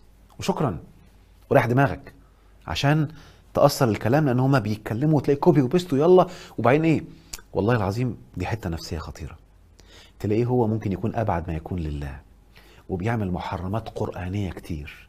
وممكن تكون أهله زعلانين منه. وفي العلاقات مصيبة. وبيسرق حقوق الناس وبياخد حاجات متهكرة وبيتفرج على أفلام. بس هو بقى أستاذ بقى يدخل الشيطان بقى عشان يحسس له انك كده بتعمل الدين. ادخل بقى اعمل المصايب دي. فعشان يرضي الحتة بتاعته إن أنا أجاهد في سبيل الشيطان وهو مش واخد باله. معايا؟ طيب النقطة اللي بعد كده. عدم وجود خبر بالفعل ليس معناه أنه حرام. الجزئية دي فيها حتة صادمة فلو سمحتم تقبلوها مني بصدر رحب. ومن لا يتقبلها اركنها من الفيديو على جنب وخد الباقي واتبع أحسنه. اوعى تكون مفكر إن كل ما كان يفعله رسول الله صلى الله عليه وسلم والصحابة أو عشان أكون دقيق. اوعى تكون مفكر إن كل ما كان يفعله رسل الله وحواريهم وصحابته. مكتوب وموجود عندنا. ده لو وصل لنا خمسة في المية يبقى زي الفل. خمسة في المية بس. وكل ما يضفي بهجة وسعادة ويرفع الطاقة ويعلي القوة ويجعلك إنسان ممكن في الأرض قوي مسيطر على حياتك اتمسح بعمد. حلو كده؟ اتمسح. اتمسح باستيكه بعمد. ثانية واحدة. بسم الله. موبايل صاحي. اتمسح باستيكه بعمد. خلاص؟ وربما عن عمد عشان برضو ما بقاش أنا ما كنتش مطلع عليهم. خلاص كده؟ فتلاقي مثلا مثال بسيط. خطب الجمعة كلها يعني لو قلنا سيدنا عليه السلام عاش 10 سنين هم 13 قول 10 عشان تعرف تحسب كويس. 10 في 12 بكام؟ 12 شهر. ب 120 شهر. 120 في 4 بكام؟ ها؟ ب 480 المفروض يكون في 480 خطبة موجودة. ها؟ فين هم؟ فين هم؟ طلع لي خطبة كاملة على بعضها بس أصلا. ادي حاجة. الحاجة التانية كم الناس اللي جم عشان يجمعوا الأحاديث؟ اللي جمع ستين ألف واللي جمع سبعين ألف مسح وساب أربعة آلاف ومسح منفردا. الله أعلم بقى كانت نيته ف- في إيه يا جماعة؟ حاجات كتير جدا تم مسحها تم محوها. خلاص؟ وتم تأليف بقى صحيح وصحيح عشان في حاجات تمسح وحاجات تشال وحاجات تفضل. وبالتالي انت ما تعرفش. يعني حتى كمان في في قاعدة كده بتقول قاعدة قرآنية إن لو كان من عند غير الله لوجدوا فيه اختلافا كثيرا. فأنت لما تلاقي اختلاف كتير تعرف إنه من عند غير الله. يعني إيه الكلام ده؟ يعني تلاقي مثلا الكتب السماوية القديمة. هتلاقي آه، آه، كتاب كذا وكتاب كذا وكتاب كذا في الديانة الواحدة تلاقي كذا كتاب وكتب مختلفة. تعرف إن في لعب. حصل لعب. خلاص كده؟ فتبقى حذر وأنت بتتعامل معاه. طب تعالى بقى كده. هل رسول الله صلى الله عليه وسلم سلمنا كتاب في أحاديثه قبل ما يموت ورجع واتاكد منه؟ لا. طب يلا. في واحد اجتهد اسمه البخاري ومطلع الكتاب بعدد. في واحد اجتهد تلميذه كان المفروض ياخد الكتاب بتاعه ويشيره بقى. لا. كان عنده اعتراضات فعمل كتاب تاني وشايل يجي 700 منه فده أقل وده كتاب برضه. وفي واحد تالت عامل كتاب واحد رابع عامل كتاب والكتب كلها مختلفة. في حاجات زيادة وحاجات ناقصة وحاجات هنا مش موجودة هنا. فأنت في إيه؟ فده اجتهادات. لكن اوعى تقولي من عند الله.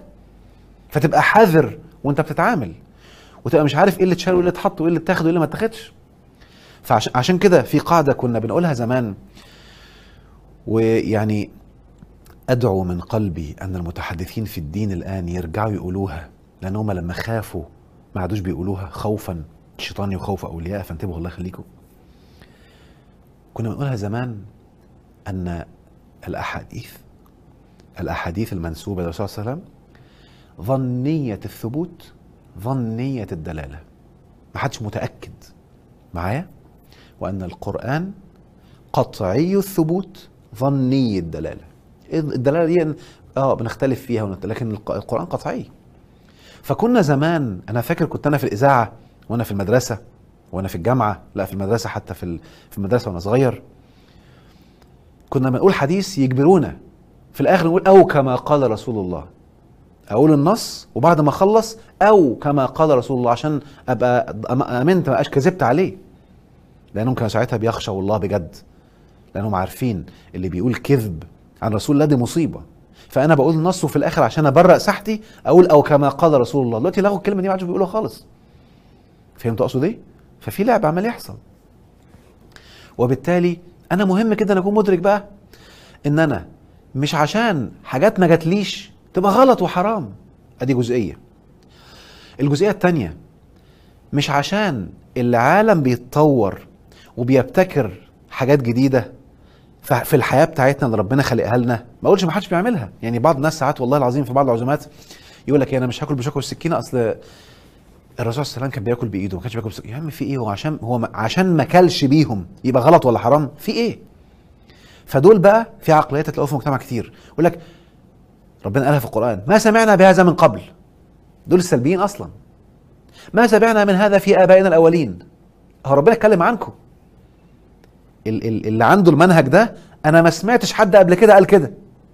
أنا ما سمعتش اللي قبل كده عملوا كده. دي عقلية غلط في القرآن. دي عقليات السلبيين مش الإيجابيين. فهمت أقصد إيه؟ فالعقلية دي عقلية مصيبة. فهمت أقصد إيه؟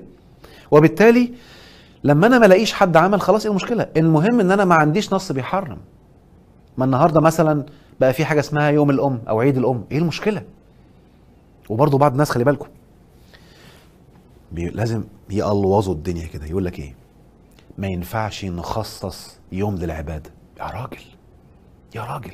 يقول لك إحنا بالمفروض بنراعي الأم كل سنة. هنخصص لها يوم يبقى حرام. مين قال كده؟ أنت بتفتي إزاي؟ إذا كان إحنا مخلوقين أصلا للعبادة وربنا مخصص أيام للعبادة. فلو كان تخصيص أيام لتزويد العبادة حرام كان ربنا ما عملهاش. عندك يوم عرفة وعندك ليله القدر وعندك أيام كتير ربنا مخصصها للعبادة لزيادة العبادة. فإيه المشكلة؟ لما نسن سنة حسنة إن النهارده نيجي اليتيم. إحنا بنرعى اليتيم. فنعمل له عيد اليتيم ونيجي في اليوم ده الأمة كلها تجتمع لزيادة عمل الخير اليتيم. إيه المشكلة؟ يبقى اسمه عيد يتيم. يقول لك ما حدش عملها ما حدش عملها أي مشكلة برضه. ملناش علاقة. ما هو اللي إحنا عايشين فيه اليومين دول ما حدش عمله. هو سيدنا محمد عليه الصلاة والسلام. كان بيطلع لايف انستجرام لك ما حدش عمله. كان بيبقى قاعد في بيته بيكلم حد في أمريكا. في إيه؟ وبالتالي لما أنا النهارده بحكم التطور والتكنولوجي أبتكر حاجات وأعمل حاجات فيها نفع فيها خير فيها حاجة إيجابية إيه المشكلة؟ انتبه من هؤلاء اللي عندهم مشكلة وبيحرموا كل شيء. وسبحان الله تلاقي في الأعياد والحاجات اللي فيها بهجة بيتصدروا بقوة. ولكن الحاجات اللي فيها حزن أو فيها ألم أساتذة. بينشروا الألم بينشروا المعاناة. يوم صبرة وشتيلة يوم سقوط الأندلس يوم سقوط فلسطين يوم مقتل الشهيد معرفش مين يوم لن ننسى لن عايشين في الحزن. رغم إن في القرآن ربنا نهي عن الحزن. يعني إحنا في الجامعة والله ربنا ما يوريكم كنا بنشوف بلاوي. إيه يا جماعة في إيه؟ يوم كذا يوم كذا يوم كذا. محزنة. وذكريات بقى يقعدوا يبعتوا صوره واتقتل إزاي؟ ده إحنا كنا عارفين أسامي أشخاص ما عمري في حياتي ما شفت عنهم ولا سمعت عنهم إلا من الجامعة. يوم ما أعرفش آه عز الدين القسام وما أعرفش آه كذا فلان أيام بقى ويقعدوا ينشروا بقى يوم ما اتقتل وإزاي؟ وما أعرفش مين. ويوم ما دخلوا وقتلوا أصحابنا وقتلوا الناس في صبرة وفي شتيلة وفي عذاب وسراييفو والجحيم. هتلاقيهم أساتذة في نشر هذه المعلومات وكل شوية بقى يبصوا في العالم إيه المصايب وينشروا ويعيشوا كل سنة في هذه الذك- الذكريات. ما هو عيد برضه بس عيد بالسيء بقى. بيعيدوها كل سنة بس بالحزن والمعاناة وتلاقيها عادي. لكن لما حد يعمل بهجة يعمل احتفال يعمل فرحة يتصدروا ويلا هوب جاهزين بالفتاوي اللي بينشروها اللي أصلا مسوغاتها فيها خلل لأي حد عنده أبسط معلومات الفقه وعارف معلومات الحلال والحرام وعارف معلومات الفرق بين الفعل والنية فاهم الدين. مش كده؟ حلو كده؟ النقطه اللي بعد كده؟ تتعامل إزاي مع أي حد بقى داخل بيحرم؟ انتبه مم- ممن يحللون كل شيء لإخراج أسوأ شيء فيه.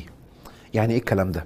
في قاعدة بتقول كده لا تحلل كل شيء. تحلل معناها من ال- اللي بيعمل تحليل انالايزنج يعني. عارف لما حد يروح يحلل آه، دم يحلل كده؟ أقول لكم هقول لكم نكتة كنا بنقولها وإحنا صغيرين. واحد سكران. فراح للدكتور فالدكتور قال له إيه يا عم الهباب اللي أنت بتشربه ده؟ أنا طب أنا هتعامل معاك إزاي دلوقتي؟ أنا عايزك توقف خمرة خالص وتجيلي بعد يومين عشان أحلل لك البول. قال له أنتوا كده يا دكاترة. تحرموا الخمرة وتحللوا البول. المهم نرجع لموضوعنا.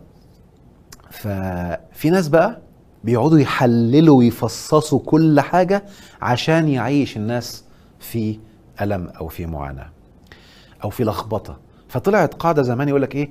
حتى بيقولوها بعض العلماء كتير دلوقتي وفي مجال التنمية الذاتية منتشرة قوي يقول لك لا تحلل كل شيء. فالذين حللوا الألماس وجدوه فحم في الآخر. لما قعدوا يحللوا الألماس هو ده إيه؟ وعباره طلع فحم. فما تبوظش الدنيا. استمتع بيه كده. ففي بعض الناس بيقعد يحلل وأيوة أنت لما هتعمل للناس في العيد تهنئهم فأنت كده تقر باللي هو بيعملوه وأنت كده بتق إيه يا عم في إيه يا عم؟ في إيه يا عم؟ ما حدش قال لك حلل لي ولا هجيبك يوم القيامة تشرح لربنا أنا بعمل إيه. ركز في اللي هقوله. ما حدش طلب منك تحلل لي. ولا حد حشرك بيني وبين ربنا. ولا ربنا هيجيبك يوم القيامة تشرح له أنا كنت بعمل إيه. ف على جنب لو سمحت. الله أدرى بفعلي والله أدرى بنيتي والحمد لله هو اللي هيحاسبني. خليك انت على جنب. حلل مع نفسك انت. عاوز تقعد تحلل لنفسك وتعيش انت في اللي انت عايزه براحتك لكن ما تجيش تفرضه عليا. النقطة اللي بعد كده. انتبه لكذبة التشبه.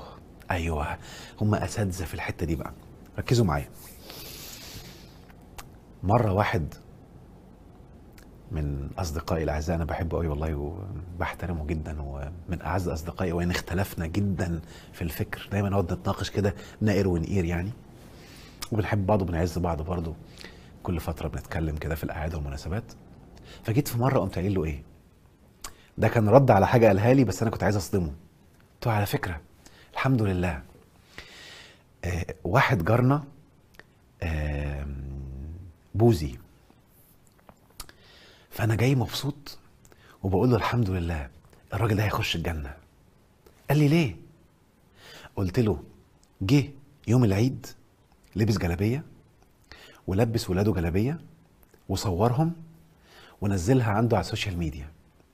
وجه معانا وقف في الجامع قعد يتفرج وحضر معانا ال- الصلاة.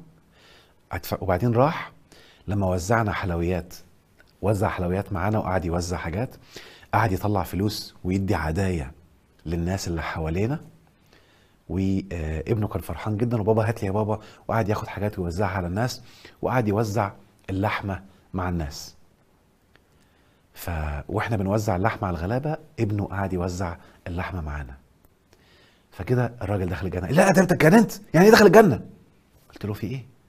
مش أنت كنت بتقول لي من أسبوعين ثلاثة من تشبه بقوم فهو منهم وتشبه بينا اهو. لا! يعني إيه يعني؟ ما هو النص أهو لو صح بفهمك. هو تشبه بينا اهو. فهيبقى مننا وهيخش الجنة. قال لا لا مش كده خالص. قلت له يعني انت حضرتك. عايزني لو جيت في يوم راس السنة عملت احتفال وجبت شجرة يبقى أنا كده بتشبه بيهم وهخش جهنم. وهو لو جه يوزع لحمة معايا مش هخش الجنة؟ أنت إيه مخك ده في إيه؟ كان لازم يتخبط. لأن هم دايما المقياس بتاعهم بيطب في السلبي. اللي يدخل الجحيم عندهم زحاليق للنار. فاهم قصدي؟ ركز معايا كده. هم عندهم زحاليق للنار. هم كده من جوه نفسهم الناس تخش جهنم. هو مش واخد باله. يعني والله هو ممكن يكون مش مدرك. فهو لو انت النهارده جبت شجرة ولا حطيت عليها شوية حاجات واحتفلت فانت بقيت من يخرجك من الملة كلها. عادي جدا. ويدخلك جهنم. لكن لو في حاجة انت بتعملها في العيد بتاعك حلاوة المولد مثلا ولا بتعمل توزيع للحمة في العيد وهو جه عملها معاك مش هيخش الجنة. ما بقاش تشبه. لكن انت تشبه هو لأ. فهمتوا؟ دول بقى اللي عندهم ميزانين اللي عندهم الفهم السقيم للمعلومات أو النصوص الدينية فانتبهوا بالله عليكم. حلو كده؟ وبالتالي خلي بالك من اللي عايشين في موضوع التشبه ده وهتلاقيهم بيقولوا كتير. لما تشوف كده ابعت له الفايل قول له اتفرج وعيب اللي بتعمله. استحي على وجهك على وجهك. والله بحبك بس استحي على وجهك. اللي بعده انتبه لتلبيس إبليس وأعوانه. يعني إيه الكلام ده؟ طيب خليني أول أقول لكم قصة كده وجهز الفيديو يا مخرج لما أقول لك تذيعه تذيعه. في دكتور اسمه أحمد لطفي السيد. ده دكتور من ال- ال- أو الفلاسفة الكبار رائعين. حتى قال عنهم الدكتور عباس العقاد إن هو أفلاطون الأدب العربي. حلو كده؟ اسمه الدكتور أحمد لطفي السيد. وكان آه، من الناس المحبوبين جدا. كان بيعمل حاجات خير جدا. يعني هو أول من لم تبرعات من الناس عشان يعملوا جامعة كان شايف إن لازم يكون في جامعة وهيئة علمية كبيرة تعلم المصريين. فهو أول من جمع التبرعات لعمل جامعة والجامعة سموها الجامعة المصرية. ثم هذه الجامعة بعد كده اتسمت جامعة فؤاد الأول ثم اتسمت بعد كده جامعة القاهرة. حلو؟ فهو هو كان صاحب اللبنة بتاعتها. فالناس كانت بتحبه قوي عنده أعمال خير كتير جدا كان منفق كريم. خلاص. والناس بتحب المجالس بتاعته. فكان عنده شعبية رهيبة في مدينة السنبلاوين في المنصورة. هو أصلا من دقهلية من من من بلدي يعني. المهم أو من المحافظة اللي أنا أنتمي إليها في مصر. ف وعلى فكرة في مدرجات كتير في كذا جامعة باسمه. مدرج أحمد لطفي السيد وقد يكون بعض الطلاب اول مره يسمعوا القصة دي. فنصحوه بعض الناس بما إنه محبوب والراجل عنده ثقل وعمال عايز الناس تقول رأيها وبيحارب الد- ال- ال- الديكتاتوريه وفرض الرأي بالقوة والكلام ده فكان عاوز الناس تكون ديمقراطية يعني ناخد أفكار ونستشير الناس فيكون في ديمقراطية. فنصحوه بعض المحبين إن هو يدخل الانتخابات. فهو كان فايز باكتساح. حلو كده؟ لغاية ما الشيطان أغرى بعض أعوانه من هم يلعبوا في المصطلحات. والفكرة الجهنمية كانت كالتالي هو كان بيدعو للديمقراطية. فبعض المنافسين ليه في الانتخابات بدأوا ينزلوا في المجالس في المساجد في القهاوي تجمعات الناس في الأسواق يقول له الراجل ده والله كويس يا أخي ومحترم بس هو مشكلته بس مشكلته إنه ديمقراطي. يقول له يعني إيه؟ يقول له ما تعرفش ديمقراطية؟ يقول له لا. يقول لك يا أخي ديمقراطي يعني عاوز الست تتجوز أربعة. يقول له إيه؟ أقول له آه الراجل يتجوز أربعة والست كمان تتجوز أربعة. ده ده كفر. ديمقراطي ده يعني كافر. ده عاوز كده ستات تمشي رجالة بمزاجهم. ده كذا.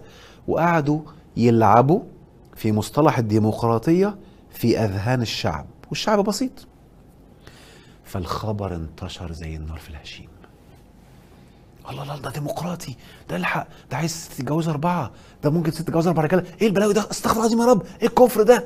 وقعد ينشر معلومات غلط ويربطها بمصطلح إيه؟ الديمقراطية. حلو. فبعض الناس جم يسألوه كان عامل مؤتمر كبير كده فبعض الناس قام قال له يا دكتور أحمد إيه رأيك في الديمقراطية؟ قام قايل لهم الديمقراطية ده شيء رائع وشيء جميل. وأنا أسعى إن شاء الله إن مصر تكون بلد ديمقراطية وننشر الديمقراطية في البلد. وكانت الطامة الكبرى الدنيا اتقلبت والناس سابوا المش... ال... ال... ال... المكان اللي كان أو ال... ال... الحفل أو المؤتمر.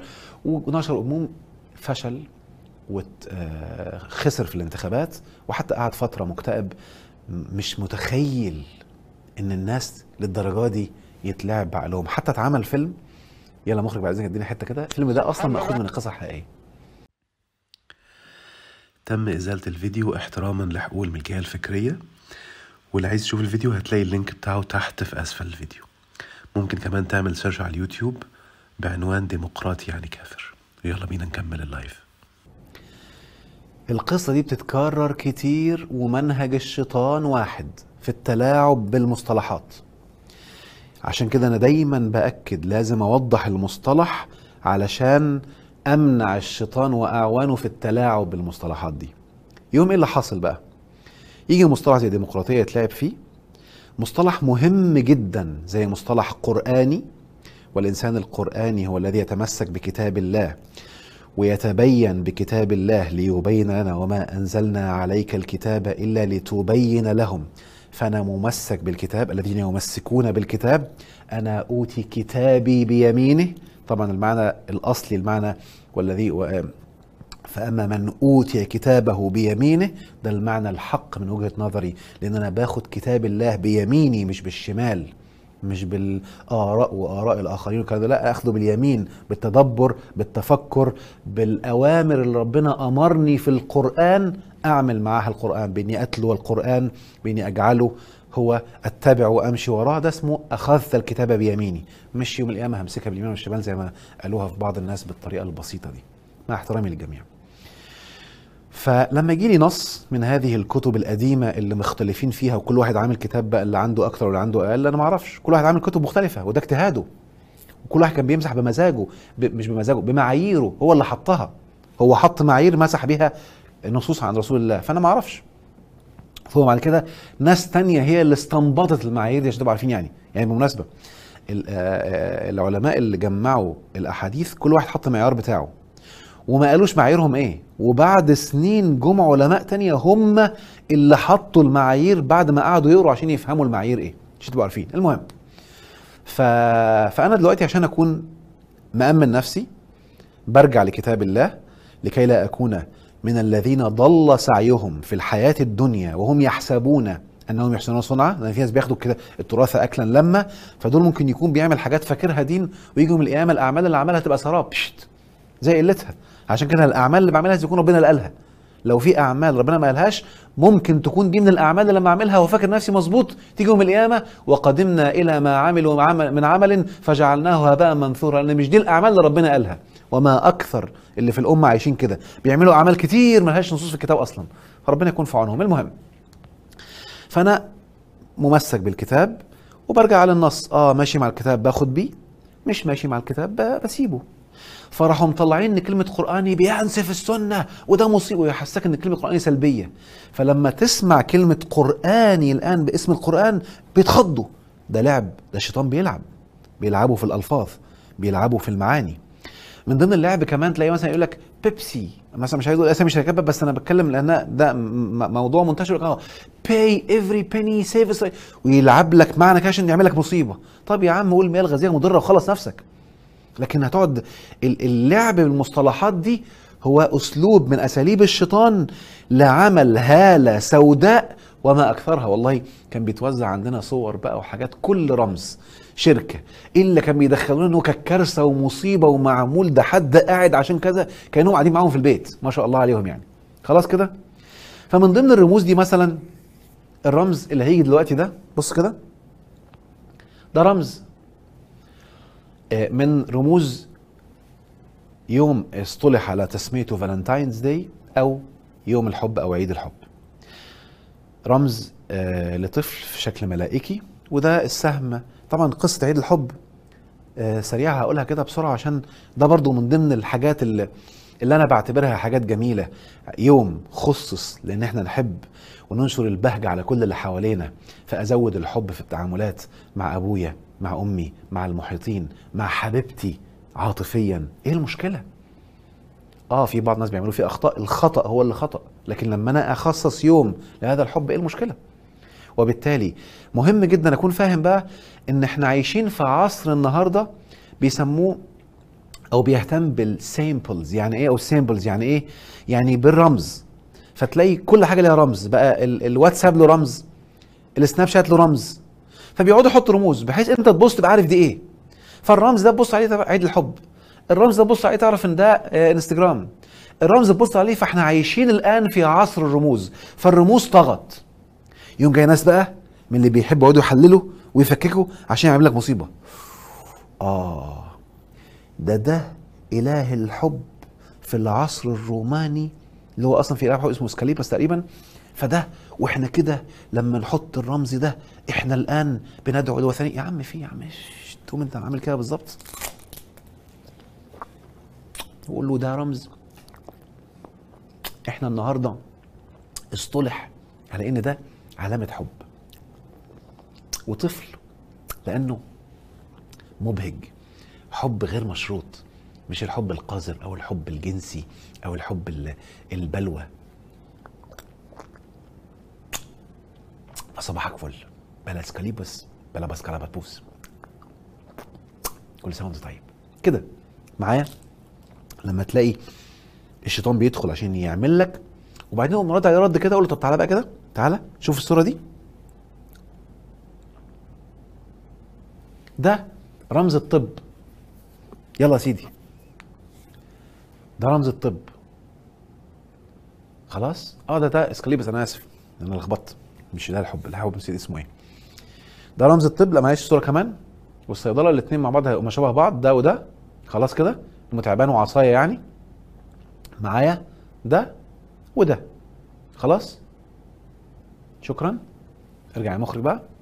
فالرمز دلوقتي كلنا اللي دارس طب واللي دارس صيدلة الرمز ده لما يتشاف معروف إنها صيدلية معروف إنها مستشفى معروف إنها حاجة متعلقة بالطب يوم جاي لك حد بقى أوبا ده إله الطب ال- اللي هو الإسكاليبس أنا لخبطت معلش في الأسماء آه ال- اليوناني اللي ما أعرفش مين وإحنا كده ويا أيها الأطباء هتخشوا في إيه يا عم؟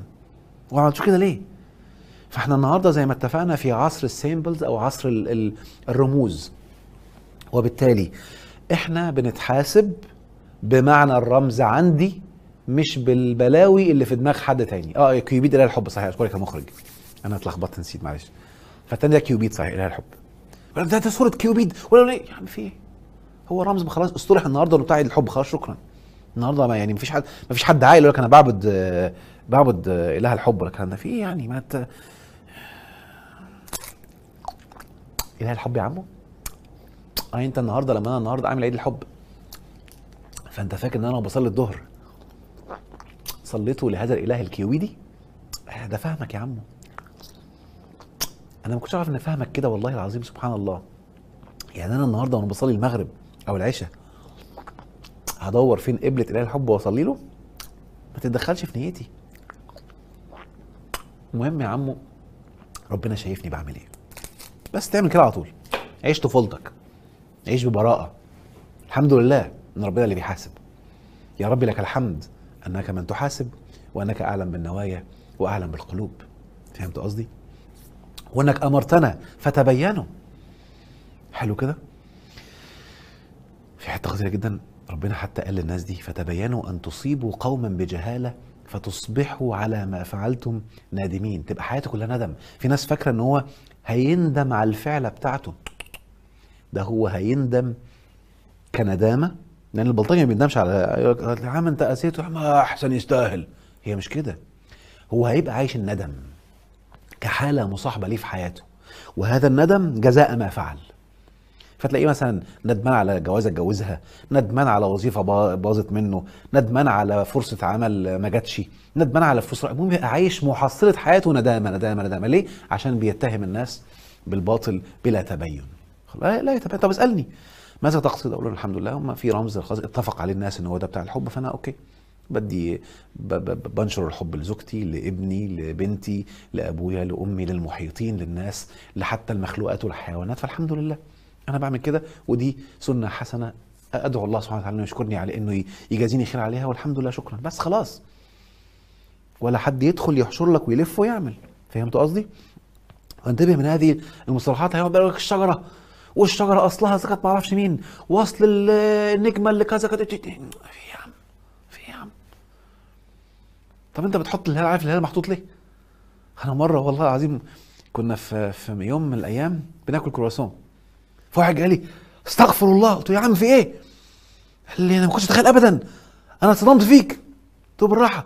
قال لي أنت عارف أن هذا الكرواسون اللي عمله عايز يقول إن إحنا طردنا المسلمين وقتلنا المعرفش مين فاحنا عملنا الهلال بتاعهم سندوتش وبناكله. قمت قايل له بجد؟ ربنا يكون في عونك. تاخد. في إيه؟ في ناس كده بيحبوا يعيشوا في ال... في إن أنا أشوه وادمر وأسود المعنى عشان أعيشك في الجحيم عشان أطلعك اللي بتعمله حرام. وأنا كنت قصة أول مره في حياتي أسمعها. وإذا كانت صح ولا غلط أنا مالي. إحنا النهارده هي اسمها كده والاكله اسمها كده. خلاص. ما اللي عملها ده مات وراح مطرح ما راح ربنا يحاسبه. في إيه؟ وبالتالي أنا دلوقتي مهم تبقى عارف بقى إن أنت اللي بيحاسبك إله الكون اللي بيحاسبك على فعلك فأنت عارف إن الفعل حسن بيحاسبك على النية فأنت مهم تبقى النية حسنة. مالكش دعوة. ما حدش يخوفك ولا يرعبك ولا يخضك وكون واقف على أرض صلبة. ومنطلق. النقطة اللي بعد كده.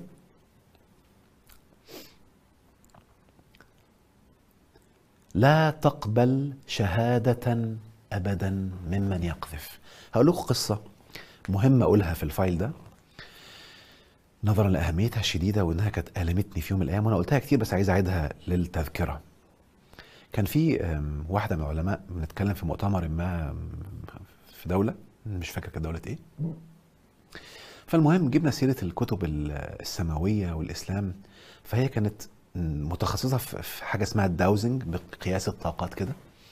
المهم فقالت لي بصراحة أنا لما قست طاقة القرآن لقيتها عالية جدا.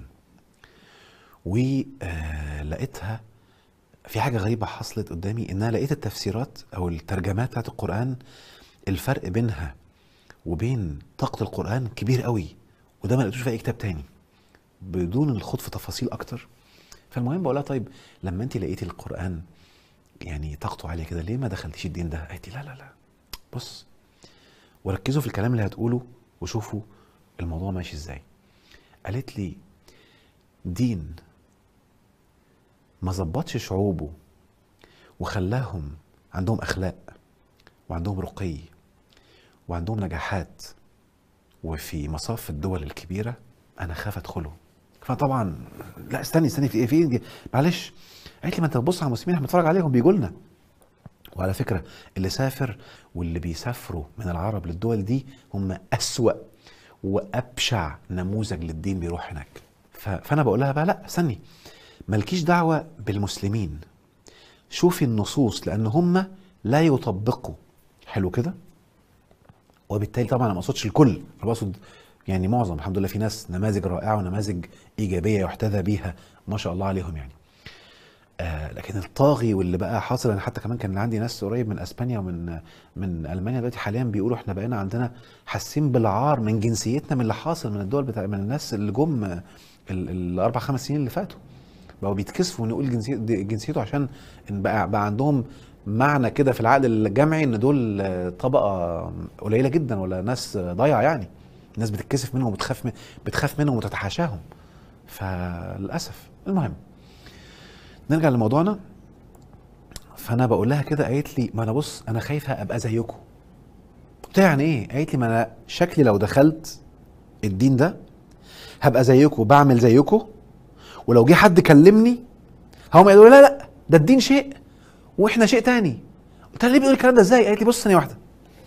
مش المفروض المتحدثين في الدين عندكم هم اللي هم أكتر حد بيطبق الدين؟ قلت لها يعني قلت لها لا بس قلت لها مش شرط. قالت لي بس ده المفروض بيتكلم في الدين. أنتوا عندكم نص في الدين بيقول آه، أو نهي ديني يعني إن حد يتكلم على حد بالزنا أو في العرض يعني من غير أربع شهود. وإن لو حد اتكلم على حد بلا أربع شهود له يعني عقوبة دينية. قلت لها أيوه. قالت لي اتفرج. كنا ساعتها في الفالنتين كان من قريب يعني. كان بعد الفالنتين بأيام يعني. قالت لي اتفرج.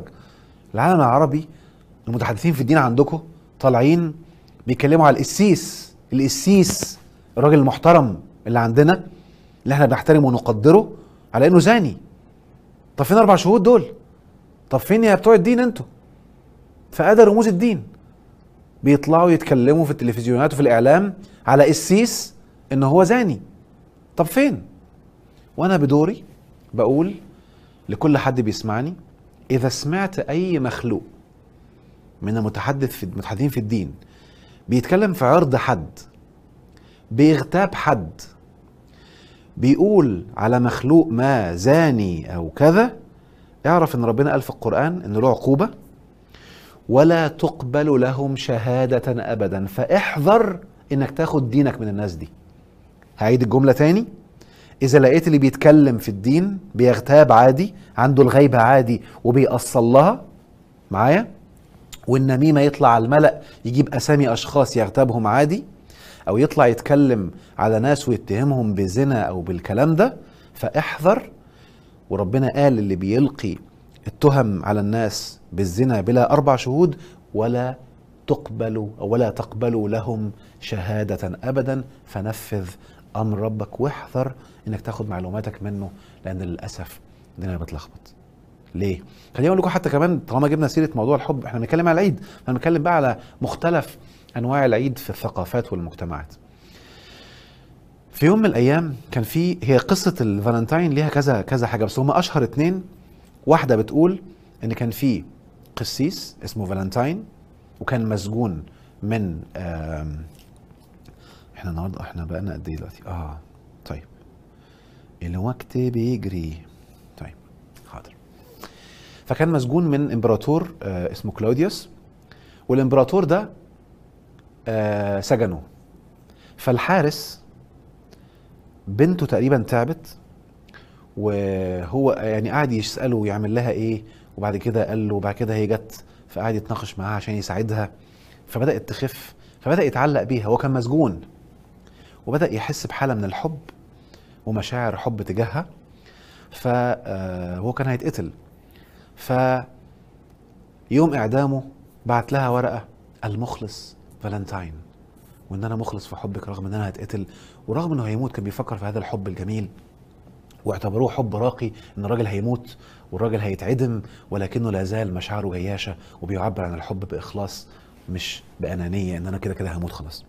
فبعض الناس بيقولوا إن دي القصة وأخدوها فلما جم يعملوا يوم الحب لقوا القصة دي خلاص نعتبر اليوم ده والاسم ده هو اللي بالنسبة لنا كمعيار. تمام؟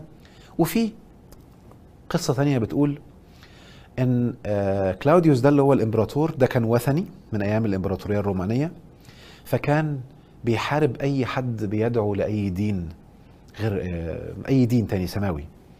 فكان القسيس فالنتاين كان بيدعو للمسيحية وكان على ديانة سيدنا عيسى.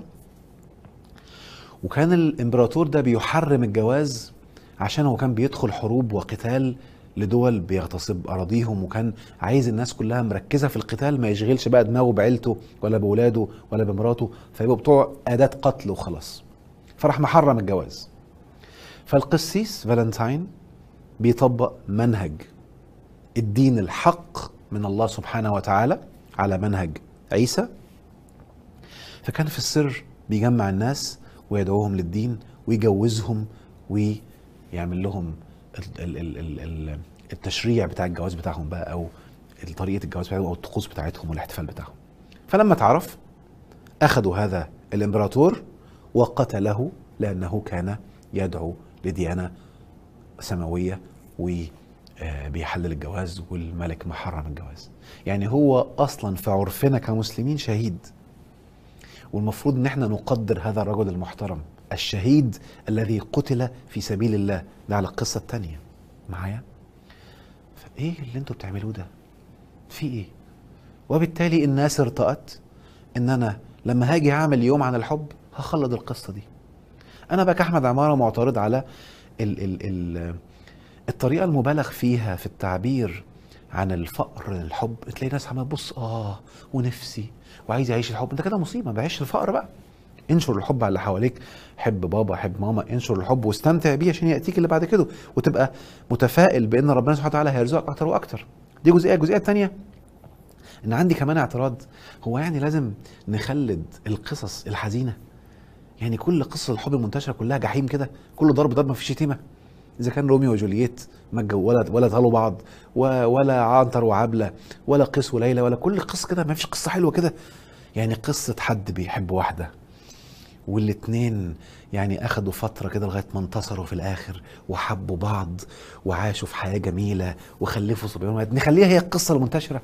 يعني في إيه المهم فاللي أنا أقصده زي ما قلت لكم بقى في ناس بيقعدوا يجيبوا قصص ويسودوا الدنيا عشان يعيشوه في الجحيم والمهم يعيشك إنها غلط وحرام فانتبه وعيش هذه الأعياد الجميلة باستمتاع واشكر لله هذه المتعة الجميلة لكي يزيدك نعيم أكتر وأكتر. بعد كده استمع للفقهاء الواعين وتفكر في قواعد استنباطهم. في كل عصر ربنا هيخلي فيه فقهاء واعيين هيطلعوا بفتاوى. يا جماعة عادي ممكن تقول لغير المسلم كل وأنت طيب وتهنيه والكلام ده كله. اسمع للفتوى بتاعته واسمع هو بنى عليها إيه فتوته. وهتلاقي ناس تانية ركز معايا كده بيتدخلوا في نيتهم. وأعوذ بالله وعوان السلطاء تدخل في النية. ده هتاخد منه الدين. يعني واحد بيتدخل في نية حد. والمنبطحون والمستنطرة بططون. هو يعني إيه منبطحون يا عمو؟ يعني ماذا يفعل هذا المنبطح؟ معايا؟ فهتلاقي ناس كده تقوم أنت بقى تاخد من ده الدين. يعني راجل لا يرقبون في مؤمن إلا ولا ذمة. وحتى عنده الناس كده بيخسف. يعني أنا بعتبر اللي بيعمل هذا الفعل ده من افعال المطففين. المطففين إذا كالوهم ده المكيال في التجارة أو وزنوهم بيوزنوا فخسف ميزان الأرض. ده مطفف. فأنت بتاخد منه الدين. براحتك. فاحذر مطففي هذا العصر لأنهم كثروا جدا. أنا في فيديو هنزله لكم إن شاء الله قريبا بس أنا انشغلت شوية وبجهزه كده تجهيز صح لأنه هيبقى فيديو للتاريخ. فاصبروا عليه بس كده هيبقى RPG ضرب نار. فانتبه من هؤلاء الناس وانظر ممن تأخذ دينك. لا تأخذ دينك ممن يغتاب ممن يتدخل في نيات الناس ممن يخسف بميزان الناس الأرض ويطفف ممن يعيش الجحيم والمعاناة ويضخم كل حاجة فيها مصادر فرحة وبهجة ممن يعيش في الإيجو الجمعي واصل إحنا وهم ونخل أول ما تلاقي إحنا وهم وعمال يعمل فرقة اعرف إن ده مش المنهج الديني. المنهج الديني ربنا قال لنا قل يا أهل الكتاب تعالوا إلى كلمة سواء. فتعال بقى نشوف كلمة سواء. ألا نعبد إلا الله. خلاص. وبالتالي أنا بنتجمع على كلمة سواء وكل واحد بقى بيعمل حاجة تانية بتاعتكم ربنا يحاسبك عليها. فكر لكن تعال نتجمع. إلى هنا وإلهكم واحد. شكرا. بن- بننادي على المختل... على المتفقين عليه. بنتجمع المتفقين فيه في بقى بعض الناس في منهج الموروث بيتكلموا في المختلفين. اعرف إنه بيخالف منهج القرآن. سيبك منهم. وإذا اتبعتهم والله هتلاقي عندك مشاكل في الحياة مشاكل في السعادة مشاكل في الرزق مشاكل في العلاقات وهتشوف في حياتك. فانتبه بالله عليك وكن واعيا. النقطة اللي بعد كده استمتع بثواب إدخال البهجة على من حولك. استمتع بهذا الثواب الجميل إن أنت تدخل البهجة والسعادة على كل اللي حولك لأنك كل ما تنوي ايا كان دينه حتى لو بيعبد الصرصار.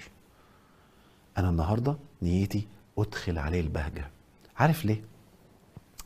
لما أنت أي حد بي بيلاقيك نيتك تسعده وفرحان لفرحه هيسمع منك هيحبك. فلما يحبك الطاقات هتتلاقى. فعندما تتلاقى الطاقات ممكن كلمة منك تفيده ممكن كلمة منك تشغل تخليه مخه يشتغل ممكن تستفيد منه حاجة حلوة. ما تبصش بتعالي كمان. ما انت ممكن تلاقي عنده حاجة جميلة تاخدها وياخد منها حاجة جميلة تاخدها فانت ممكن تستفيدوا حلو كده؟ نظرة التعالي دي وأنا خير منه نظرة إبليس. فأول ما تلاقي حد بي بي بي بيعزز لك جواك حتة أنا خير منه دي اقلق منه. ده منهج إبليس. فهمت قصدي؟ وبالتالي خدها قاعدة. كن ممن يستمع القول فيتبع أحسنه. وبالتالي هتبدأ يوم بعد يوم تتدرج في السعادة والراحة بإذن الله.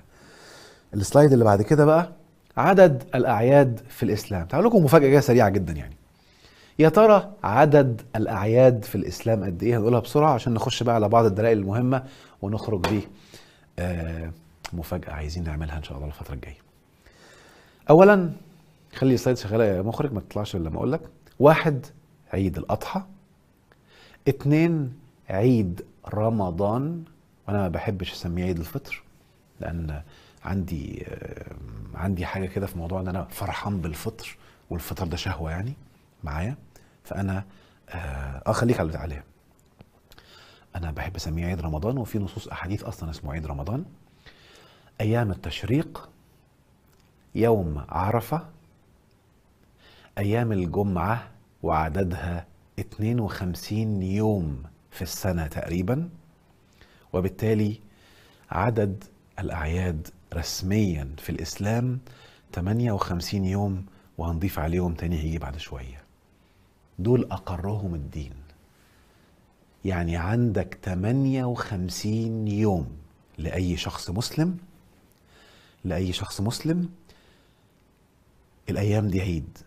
مهم تعمل فيها الخطوات اللي قلناها للاستمتاع ببهجة العيد بالراحة بالسعادة بإنك تكسر الروتين فيهم بصورة رائعة. تعالوا نبص كده سريعا كده في النصوص الدينية اللي بتتكلم عن العيد. ناخد القرآن ثم نطلع بعض لبعض النصوص التي تنسب لرسول الله صلى الله عليه وسلم. نبدأ بالقرآن. بسم الله. أدلة دينية. قال عيسى ابن مريم اللهم ربنا أنزل علينا مائدة من السماء تكون لنا عيدا لأولنا وآخرنا وآية منك. وارزقنا وأنت خير الرازقين. قال الله إني منزلها عليكم فمن يكفر بعد منكم فإني أعذبه عذابا لا أعذبه احدا من العالمين. سورة المائدة. الآية دي كانت من الآيات اللي شدتني في يوم من الأيام وأنا بتدبر. وقفت عندها كذا مرة وشكيت. معقولة؟ ركز معايا كده. أول حاجة خدت بالي منها ربي أنزل علينا السماء تكون لنا عيدا لأولنا وآخرنا. ده رسول اللي بيقول كده.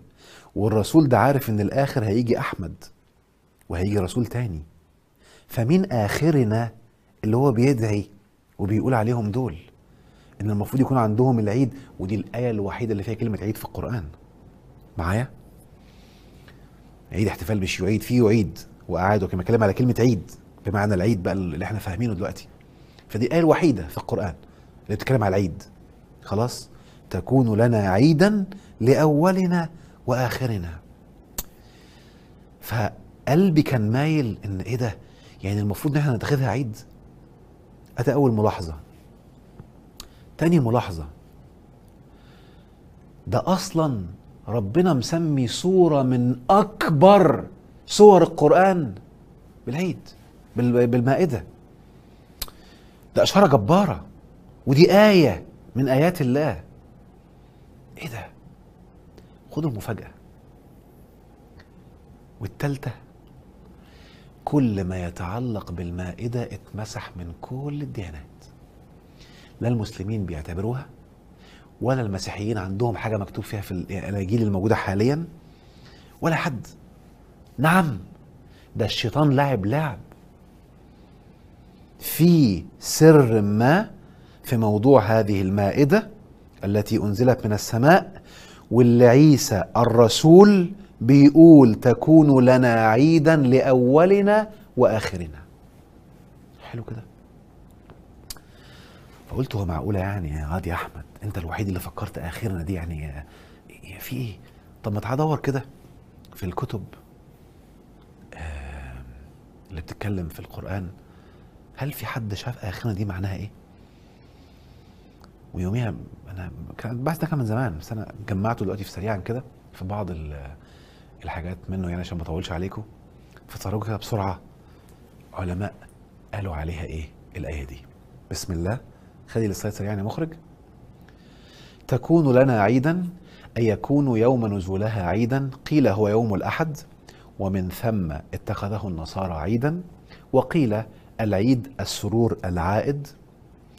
ولذلك يقال يوم عيد فكان معناه تكون لنا سرورا وفرحا لأولنا وآخرنا بدلا من لنا بتكرير العامل أي لمن في زماننا من أهل ديننا ولمن يأتي بعدنا. وقيل يأكل منها آخر الناس كما يأكل أولهم ويجوز للمتقدمين منا والأتباع. ده في الكشاف الزمخشري.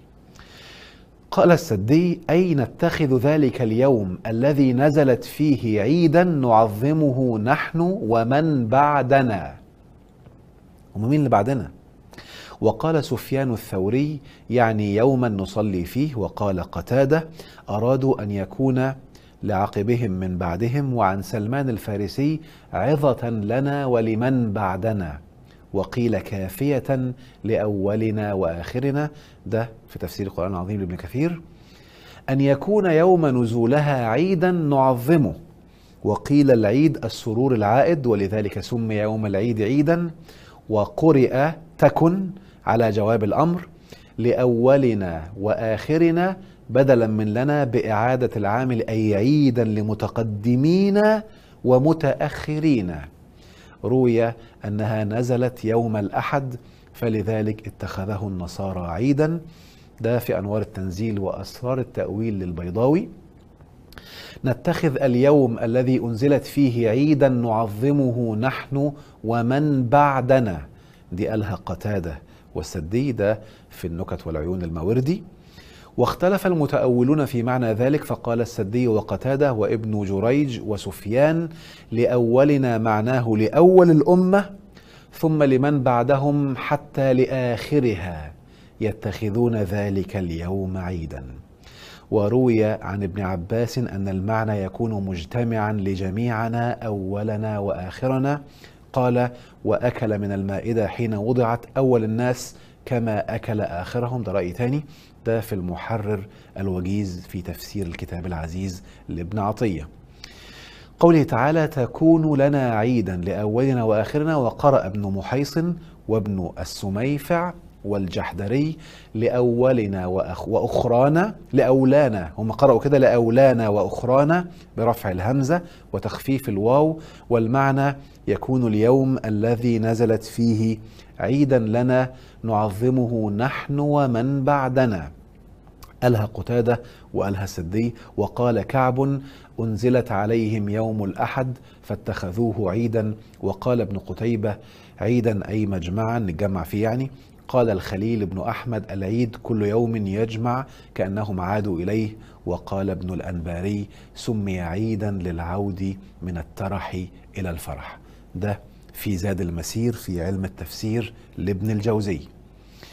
وقوله لأولنا وآخرنا يعني قبل زماننا ولمن يجيء بعدنا الكشاف والبيان للثعلبي. قيل نتخذ يوم نزولها عيدا يدور كل عام لأول الأمة ثم لمن بعدهم. التسهيل لعلوم التنزيل لابن جزي الغرناطي. قوله تعالى تكون لنا عيدا وقرأ ابن محيصن. ده خلاص قلناها قبل كده. آه دي متعادة معلش. طيب. آه المهم كل كل الآراء دي ممكن أ... أنا ممكن أعمل كده. أنت بقى وقف بقى عايز تقرأ؟ وممكن كده ابقى وقف لو عايز تقرأ. ممتاز. آه. طيب. ارجع لي يا مخرج هنا. طيب. ركز معايا كده. آه، طبعا موضوع المائدة ده فيه موضوع كبير فأنا يعني في آخر الفيديو هقول مفاجأة هقول قصدي مسابقة مهمة قوي لمن يساعدني في الموضوع لأن أنا هبحث جدا في موضوع المائدة ده وهعمل له بحث مطول لأن الموضوع عيد معناه كل سنة مش معناه كل أسبوع. والموضوع أكبر من موضوع حد. ف عيسى واللي معاه ربنا سماهم المسلمون من قبل ونحن آخر هذه الأمة فموضوع العيد ده مهم لازم نبحث فيه بعمق إن شاء الله. تعال نشوف بقى بعض الأدلة في الأحاديث المنسوبة لرسول الله عن كيفية تعامله مع العيد. وإيه المفاجآت اللي بعض الناس كانوا بيخبوها للأسف أو ما يجيبوش سيرتها؟ اللي بتتكلم بأريحية وبحب وعادي وقد تكون صادمة للبعض وهي نصوص موجودة في كتب التراث. يلا بينا بسم الله. عن أبو بكرة نفيع بن الحارث شهر عيد لا ينقصان. شهر اعتبر الشهر كامل عيد. وفي رواية تانية من حديث خالد شهر عيد رمضان وذو الحجة. ده في صحيح مسلم. لأن إحنا بنقعد شهر كامل نصوم وفي الآخر بنعمل عيد يعني احتفال وفرحة وسعادة باستكمال الصيام وإتمامه. عن أبي سعيد الخدري لا صوم في يوم عيد ده في ابن حبان. ركزوا معايا بقى. أنا أنا قلت لكم في الأول عشان من سمات العيد إن أنت تبقى بتفرح بتكسر الروتين. فعشان كده أصلا منهي إن في يوم العيد تصوم. ما تجيش تقعد تعمل لي عبادة صيام في عيد ده يوم فرحة. يعني اخرج افرح. ده حتى بالأمر الناس والولاد والستات يخرجوا عشان أنت مطالب تفرح تستمتع. ما تجيش تعمل لي نسك في العيد. وبالتالي أصلا الدين بيحثك تكسر روتين وإنك تستمتع وإنك تبتهج وتعمل حاجة فيها بهجة. فمهم إنك تكسر روتين. ارجع بعد كده. عن جابر بن عبد عن أبي سعيد الخدري. آه خلاص عن جابر بن عبد الله. كان إذا كان يوم عيد خالف الطريق. ده بيحكي عن سيدنا محمد صلى الله عليه وسلم. كان لما يمشي في الطرق لو يوم عيد اللي هو بقى أيام اللي قلناها ال 58 يوم كان بيخالف الطريق وبيعمل حاجة مختلفة. عن أبي هريرة آه، قال قال الرسول صلى الله عليه وسلم يوم الجمعة عيد فلا تجعلوا يوم عيدكم يوم صيامكم إلا أن تصوموا قبله وبعده. والعلماء يتكلموا ان لو واحد بقى عامل روتين وصادف يوم العيد فخلاص قوم مخلي يوم قبله ويوم بعده طالما أنت عامل أصلا سيستم لكن الأصل إن في أيام العيد والاحتفالات لا صيام وابتهج لكسر الروتين. عبد الله بن عباس عن آه، عبد الله بن عباس قال قال صلى الله عليه وسلم إن هذا يوم عيد جعله الله للمسلمين. فمن جاء الجمعة فليغتسل وإن كان طيب فل فليمس منه وعليكم بالسواك. عن عائشة أم المؤمنين قالت دخل علي أبو بكر وعندي جاريتان من جواري الأنصار تغنيان. بما تقاولت الأنصار الأنصار يوم بعاث. فقال أبو بكر أمزمار الشيطان في بيت رسول الله صلى الله عليه وسلم وذلك في يوم عيد. فقال رسول الله صلى الله عليه وسلم يا أبا بكر يا أبا بكر إن لكل قوم عيدا وهذا عيدنا. ركز معايا كده بالله عليك عشان النص ده جميل جدا ورائع. وأنا قعدت أبحث فيه سنة كاملة من من 15 سنة تقريبا تقريبا من 2008 2009 حاجة زي كده. داخلين على 20 سنة. المهم فركزوا بالله عليكم. اولا جاريتان بعض العلماء اخذوها وقالوا خدوا المعنى في اللغة العربية إن الجارية والغلام اللي هم الصغيرين هم عايزين يخلوهم عيال صغيرة. ولكن لما لما أنا بحثت في نص تاني السيده عائشة قالت حمامة وصاحبتها. حمامة قالت اسم الست. فقعدت في مرة كان في التوقيت ده النت ما كانش قوي 2008 2009 قعدت سألت كذا حد وعملت فيلم كده عشان أدور مين حمامة دي ومين الست اللي اسمها حمامة. وكانت المفاجأة إن الست دي اللي اسمها حمامة هي كانت جارية بالمعنى إنها خادمة. عارفين الجواري؟ مش معناها عيال صغيرين. فانها جارية معناها خادمة وهي كانت أم سيدنا بلال رضي الله عنه. فهي أم بلال اللي كان بيأذن يعني ست كبيرة. خلاص؟ وإن عشان هي كبيرة وكانوا بقى بيغنوا بالدف وكده وفرحانين بالعيد فسيدنا محمد كان قاعد سايبهم براحتهم عشان ما يكسفوش ومغطي وشه. لأنها مش طفلة. فبراحتكم فهمت اقصد إيه؟ أنت متخيل؟ ده يوم عيد. معايا؟ بهجة. إيه المشكلة؟ اعملوا أنتوا عايزينه. وخد المفاجأة. قبل الإسلام ما يدخل المدينة كان عندهم مجموعتين الأوس والخزرج. خلاص؟ قبيلتين يعني. كان بينهم حروب على مدى تقريبا 130 سنة حروب قاتلة. لغاية ما جه في يوم يوم بعاث ده بعاث دي منطقة جنب المدينة. فحصلت حرب شعواء. المهم اتقتل منهم ناس كتير جدا جدا جدا جدا. وكان دايما الخزرج يتهزموا فتقريبا هم اللي فازوا في المعركة المهم في الآخر بعد ما حصل قتل كتير وكذا حد كبير منهم اتقتل العقلاء اتجمعوا وعملوا يوم إنهاء الحروب وسموه يوم بعاث خلاص دي آخر حروبنا وبقى عيد عندهم. عيد لإيقاف الحروب وبقوا كل يوم بعاث يعملوا أغاني. خد المفاجأة بقى. ده ده مش في الإسلام. هما بيغنوا في أغاني عندهم زي يوم التحرير كده عارف لما دولة تعمل عيد تحرير؟ خلاص عيد استقلال وبيعملوا أغاني فيه. فكانوا الجاريتين بيغنوا الأغنية بتاعت عيد بعاث أو يوم بعاث. عادي وسابهم عادي جدا. وخد المفاجأة اللي بعد كده. ما يطلق عليه مزمار الشيطان كان سيدنا محمد عليه الصلاة والسلام بيسمعه في بيته. عشان في بعض الناس عندهم الفكر متشقلب. يقول لك الشيطان يقول له يا عم ده الحديث ده بيقول لك إن سيدنا محمد كان يسمع ما يطلق عليه العرب مزمار الشيطان في بيته. ده ده إقرار. يا بتوع السنة الفعلية. ها؟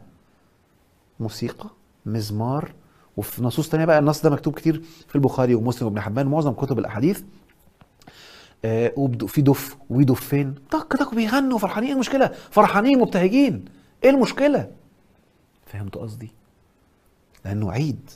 فأنت في العيد مهم تعمل مظاهر البهجة مظاهر الفرحة. ودي من السنن. إذا شئنا سميناها سنن.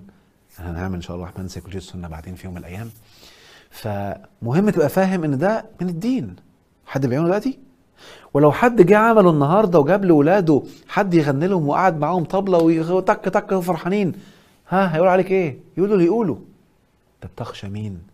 ده أنت المفروض تعمل كده وتشكر ربنا على هذه النعمة. يا ربي لك الحمد والشكر أنك أنت الله.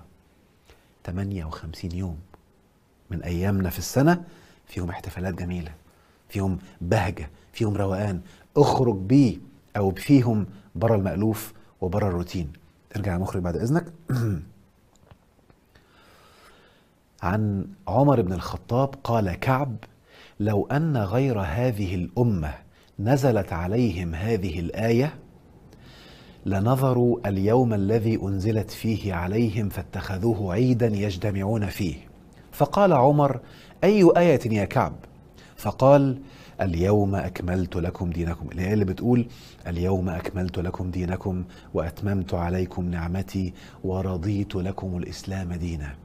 فبيقول بقى قال عمر قد علمت اليوم الذي أنزلت فيه والمكان الذي أنزلت فيه يوم جمعة ويوم عرفة وكلاهما بحمد الله لنا عيد.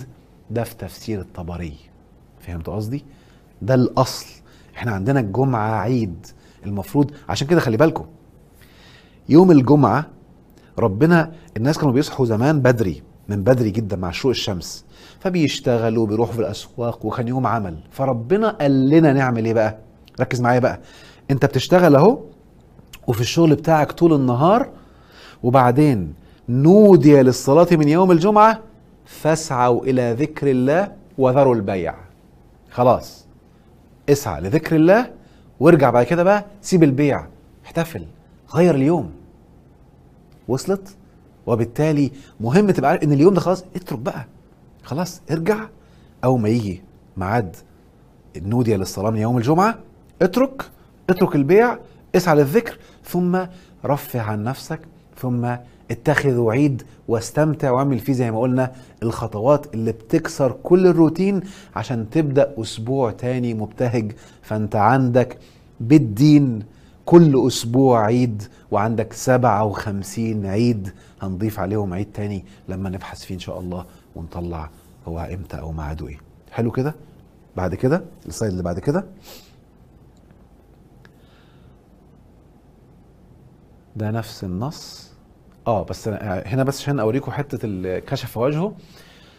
عن عائشة أم المؤمنين قال أن أبا بكر رضي الله عنه دخل عليها وعندها جاريتان في أيام منى تغنيان وتدففان وتضربان. شوف هنا اضافتين أهو بتدف وبيضربوا طن طن طن. عمالين يعملوا إيقاع ومستمتعين خلاص.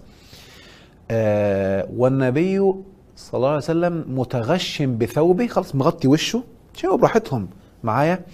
فنهر فانتهرهما أبو بكر فكشف النبي صلى الله عليه وسلم عن وجهه وقال دعهما يا أبا بكر فإنها أيام عيد وتلك الأيام أيام منى. وقالت عائشة رأيت النبي صلى الله عليه وسلم يسترني وأنا أنظر إلى الحبشة وهم يلعبون في المسجد. فزجرهم فقال النبي صلى الله عليه وسلم دعهم أمنا بني أرفدة. يعني من الأمن. ركزوا معايا عشان دي حتة مهمة قوي قوي قوي المفروض المسجد هو المكان اللي فيه التوازن. أنا بعبد ربنا وبستمتع وبعمل حاجات حلوة. فكان في ناس بيقرأوا ناس كانوا بيتعلموا. كان بعد كانوا قبل كده بيجيبوا بيدرسوا علم في المسجد. ممكن يدرس فيزياء وكيمياء وجغرافيا في المسجد معايا. ممكن يعملوا احتفالاتهم في المسجد. ممكن يعملوا حفلة عرس في المسجد ويعملوا حالة فيها الغناء واللعب واللهو. ده كان الطبيعي ما كانش فيه الكلبشة اللي موجودة أيامينا. ودلوقتي ديانات كتير بتعمل كده في دور العبادة بتاعتهم. محافظين على التوازن إن أنا آه في عبادة لله وفي حالة من البهجة وممكن أعمل متعة وأعمل حاجات حلوة في المكان المخصص للعبادة. فكان السيدة عائشة بتقول بقى إن يوم العيد ده كانوا الحبشة بيلعبوا عمالين يلعبوا فرحانين بي- بي- بيتنططوا. هجيب لكم نصوص تانية بعد كده كانوا بيعملوا إيه؟ فكانت عايزة تبص عليهم. فكان سيدنا محمد بيسترها عشان هي قاعدة براحتها. كان البيت بتاعهم جوه المسجد. فأكيد هي قاعدة بلبس مريح هنا فكان بيسترها عشان ما حدش من بره يشوفها. وهي تتفرج عليهم وهم بيلعبوا ومستمتعين في العيد. ده الشكل السوي الطبيعي الجميل الطيب لاحتفال العيد. النص اللي بعد كده. عن عائشة أم المؤمنين كان الرسول صلى الله عليه وسلم آه كان رسول الله صلى الله عليه وسلم جالسا في المسجد فسمعنا لغطا وصوت صبيان. فقام رسول الله صلى الله عليه وسلم فإذا حبشية تزفن والصبيان حولها. واحدة ست حبشية بتزفن يعني فرحانة وعمالة ترقص كده. معايا؟ فقال يا عائشة تعالي فانظري فجئت فوضعت لحيي على منكب رسول الله صلى الله عليه وسلم فجعلت أنظر إليها ما بين المنكب إلى رأسه. فقال لي أما شبعت؟ أما شبعت؟ فجعلت أقول لا لأنظر منزلتي عنده. إذا طلع عمر فارفض الناس عنها فإني لانظر إلى شياطين الجن والإنس قد فروا من عمر بن الخطاب.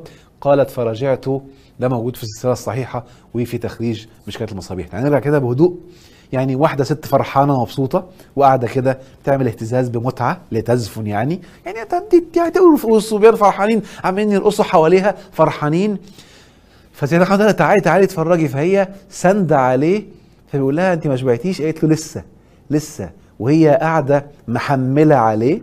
فبتقول بقى فأنا قاعدة مستنية أما أشوف غلاوتي عنده قد إيه وعمال أتفرج. فجه سيدنا عمر البعبع كله كشك وجري لأن كان قاسي وكان شديد. شفتوا المنظورين؟ ده منظور الرسول ومنظور حد واخد شدة واخد قسوة بقوة. فهمتوا قصدي؟ وبالتالي ده نص بيبين لك الشكل السوي الطبيعي الجميل المتوازن.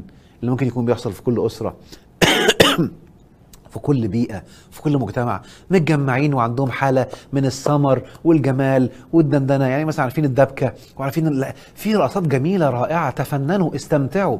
في حاجة شيك وفي حاجات مبالغ فيها فجة. فأنت بتنتقي باستمتاع وببهجة وبتشكر لله سبحانه وتعالى هذه النعمة. النص اللي بعد كده.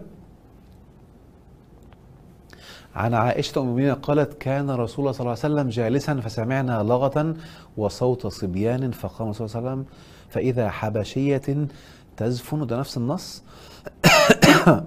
طيب أنا نفس النص معلش ده في سنة الترمذي. نص تاني عن أنس بن مالك لما كانت الحبشة يزفنون بين أو يزفنون بين يدي رسول الله في مية بكر. لو سمحت كده آه. دقيقة بس أشرب ثانية واحدة. بسم الله.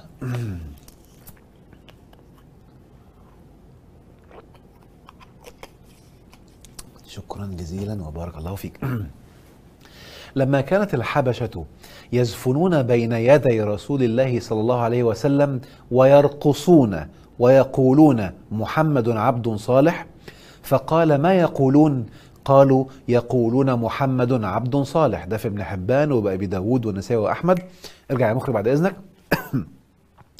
يعني الحبشة كانوا فرحانين لما شافوا الرسول وقعدوا يرقصوا ويغنوا أغاني بالحبشة. فهو مش فاهم هو مش فاهم إيه اللي بيتقال. عارف مثلا تخيل كده مثلا أنا بقول لغة جان جو بيجا لا جو بو جان جان دي الله الله الله جان جان فرحانين بهجة. فسيدنا محمد ابتسم. وبيسألوا بيقولوا إيه؟ فبيقولوا محمد رجل صالح. محمد عارف أنت إيه يعيش يعيش محمد مثلا فرحانين بيعملوا احتفال بيعملوا رقصة. إيه المشكلة؟ وبالتالي ده تعبير جميل راقي عن حالة البهجة وحالة الاحتفال. اللي بعد كده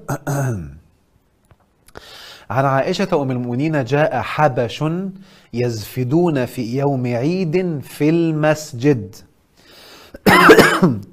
فدعاني النبي صلى الله عليه وسلم فوضعت رأسي على منكبيه فجعلت أنظر إلى لعبهم حتى كنت أنا التي انصرفت أو انصرفت عن النظر إليهم. ده في صحيح مسلم. طيب. اكتفى أو نكتفي بهذا القدر من اللايف. مش عايز أكون طولت عليكم. يعني أنا أردت أن أنا أعمل آه يعني آه من وجهة نظري معلومات تحث على البهجة. قول لي عايز تقول حاجة؟ تحث على البهجة وعلى حالة السعادة. وإزاي تفهم سيكولوجية العيد إنها جاية تكسر الروتين وترجعك طفل؟ كن طفل عيش بطفولة وبراء خلي الطفل اللي جواك يوم الاحتفال هو اللي يخرج. وملكش دعوة من متربص ولا من مصنف ولا من حد حاكم ولا من حد غليظ القلب أسوده. مالكش دعوة بيه. منك لربنا واستشعر هذه النعمة واشكر لله سبحانه وتعالى من قلبك. هختم بمبادرة إن شاء الله بإذن الرحمن أنوي إنها تكون تعمل طفرة وتأثير كبير في الأمة الفترة الجاية. أكتر الحاجات اللي بتعمل بهجة وسعادة هو التفاصيل الممتعة. إن إحنا بنعمل تفاصيل فيها بهجة وفيها سعادة منها إن الناس بتستمتع بالتفاصيل دي بتخرجها بره المود بتاعها الطبيعي. من ملبس من ديكورات من أشكال ملونة من حاجات بتتعمل ايا كان بقى معايا بحيث لما تتشاف يتعرف إن دي بتاعت العيد. رقم اتنين إنها ودي حتة مهمة بتعمل رواج اقتصادي في التوقيت ده الكل بيكون بيشتري ويبيع فالناس بتنشط والمحلات بتشتري فبيعمل نفع كمان ويدخل رزق على الناس اللي بيشتغلوا في الحاجات دي كلها. فأنا هعمل مبادرة لعيد رمضان والعيد ذي الحجة اللي بنسميه بقى الفطرة والأضحى. وإن شاء الرحمن بس لما نطلق موضوع آه، المائدة ونبحث فيه وأخلص لمعلومات فيه أكون أنا مرتاح لها نفسيا. هنبدأ الأول في العيدين دول عيد رمضان وعيد ذي الحجة. هعمل مبادرة دلوقتي ومسابقة لناس تبعت لنا أفكار. عايزين نعمل شكل. كلنا نبدأ نعمله في الأعياد ننشره لكل الثقافات اللي حوالينا لجيراننا للناس اللي حوالينا ونبدأ نحتفظ بهذا الشكل كاحتفال ملناش علاقة بالتشريع الديني. خلي بالكم. لو خدنا مثلا الموضوع بتاع يوم ميلاد آه، سيدنا عيسى. في بعض الناس قالوا إن يوم ميلاده يوم 25 وبيحتفلوا بيه وده تيار مسيحي في العالم. وفي ناس أخدوا يوم ميلاده يوم 31 وده تيار بيحتفلوا فيه في العالم. ويوم تاني أخدوه ناس يوم 7 يناير وبيحتفلوا بيه في العالم. وناس تانية قالت لا يا جماعة ده هو مش في دول خالص ده هو بعديها بست شهور وبيتكلموا عنه. خلاص كده؟ أنا ماليش علاقة بدول. كل واحد له وجهة نظره. أحترمها. خلي بالك بقى. التلاتة اللي بيعملوا احتفالات سواء 25 أو 31 أو 7 يناير عندهم نوعين من الاحتفال وهنا الذكاء. ده الذكاء الرائع المجتمعي. احتفال في الكنائس ديني بتشريعات دينية وطقوس دينية ده ما بيعملوش غير المتدينين. خلاص كده؟ واحتفال مجتمعي. المجتمع بيعمله ببهجة بسعادة. ده مجتمع أو احتفال بألوان ببهرجة بصور ببالونات. ده احتفال تاني خالص ملوش علاقة بالتشريع أو الطقس الديني إنجاز التعبير. فإحنا مش هنتكلم في الطقس الديني ده مش بتاعنا ده طقس دين ده دين. إحنا هنتكلم في إن إحنا عايزين نبتكر الشباب المبدع الفترة الجاية هحط لكم إيميل دلوقتي هيبقى ظاهر على الشاشة الآن. طلعوا لي يا مخرج لو سمحت. ايديا at عمارة ايديا at عمارة هتبدأوا تبعتوا عليه الأفكار بتاعتكم للعيدين بعد رمضان وفي ذي الحجة عشان نعمل تفصيلات بشكل لبس بشكل حاجات معينة ونبدأ ننشرها وكل شوية نطور نطور نطور والناس كلها تبدأ تعملها ونعمل نشر البهجة فيبقى عندنا شكل معين لاحتفالنا كمسلمين بالأعياد بتاعتنا شكل يجذب أطفالنا شكل ممكن كاركترات نعملها الرجالة يلبسوها والأمهات تلبسها فالطفل يكون بيحبه وعايز يعيش بيه وعايز يستمتع ويعمل زيه فنعمل كاركترات نعمل أشكال معينة خلاص. ونبقى بننشرها ويبقى ده الاحتفال بتاعنا الممتع المدني للعيد علشان تبدأ الناس كلها تشوف هذه الاحتفالات ويكون زي ما قلنا في الشروط اللي قلناها بيخرج من المود بيكسر الروتين بيرجعك للطفولة للبهجة للسعادة. حلو كده؟ والأفكار اللي هتيجي اللي هنتقيها وهنطلعها بقى كان شاء الرحمن في المبادرة بتفصيل هيبقى ليها مكافأة من الأكاديمية لسه ما حددتهاش دلوقتي. ده أول شيء هنعمله. الشيء الثاني اللي هيساعدني في البحث القراء بقى والناس دودة القراية واللي عندهم اطلاع ولا يقدر يوصل لبعض العلماء اللي عندهم معلومات أكتر عن المائدة وتفاصيل المائدة. لو حد عنده بعض نصوص للكتب الدينية القديمة لأن الفاتيكان اتجمع 300 وشوية تقريبا وكان في كذا إنجيل فهم خلوهم اتنين تلاتة بس والباقي ما عادش حد بيتداوله. فالله أعلم قد يكون موجود في حاجات عن المائدة في الأناجيل اللي قبل كده أو الكتب القديمة. فأي حد عنده معلومات عن المائدة أو يساعد في البحث والقراءة في الكتب القديمة قوي عن المعلومات عن المائدة يبعت لي. اللي هيبعت لي معلومة وأنا أشوف إنها قيمة وأبدأ أتكلم عنها يكون له مكافأة إن شاء الرحمن في الأكاديمية بإذن الله. فشدوا حيلكم يا رب يجعل كل أيامكم بهجة وسعادة ويبقى العيد عيد فرح وسرور ويعاد عليكم بالخير على الدوام. وكل بشري وكل إنسان ذو ثقافة وذو فكر في العيد بتاعه اللي بيسعد فيه أنا أسعد لسعادتك وأحس بالبهجة لأنك مبتهج وأدعو لك من كل قلبي أن يديم إله الكون الله رب العالمين عليك البهجة والسعادة ويجعل كل أيامك جنات ونعيم على الدوام. أراكم بألف خير. أحمد عمارة.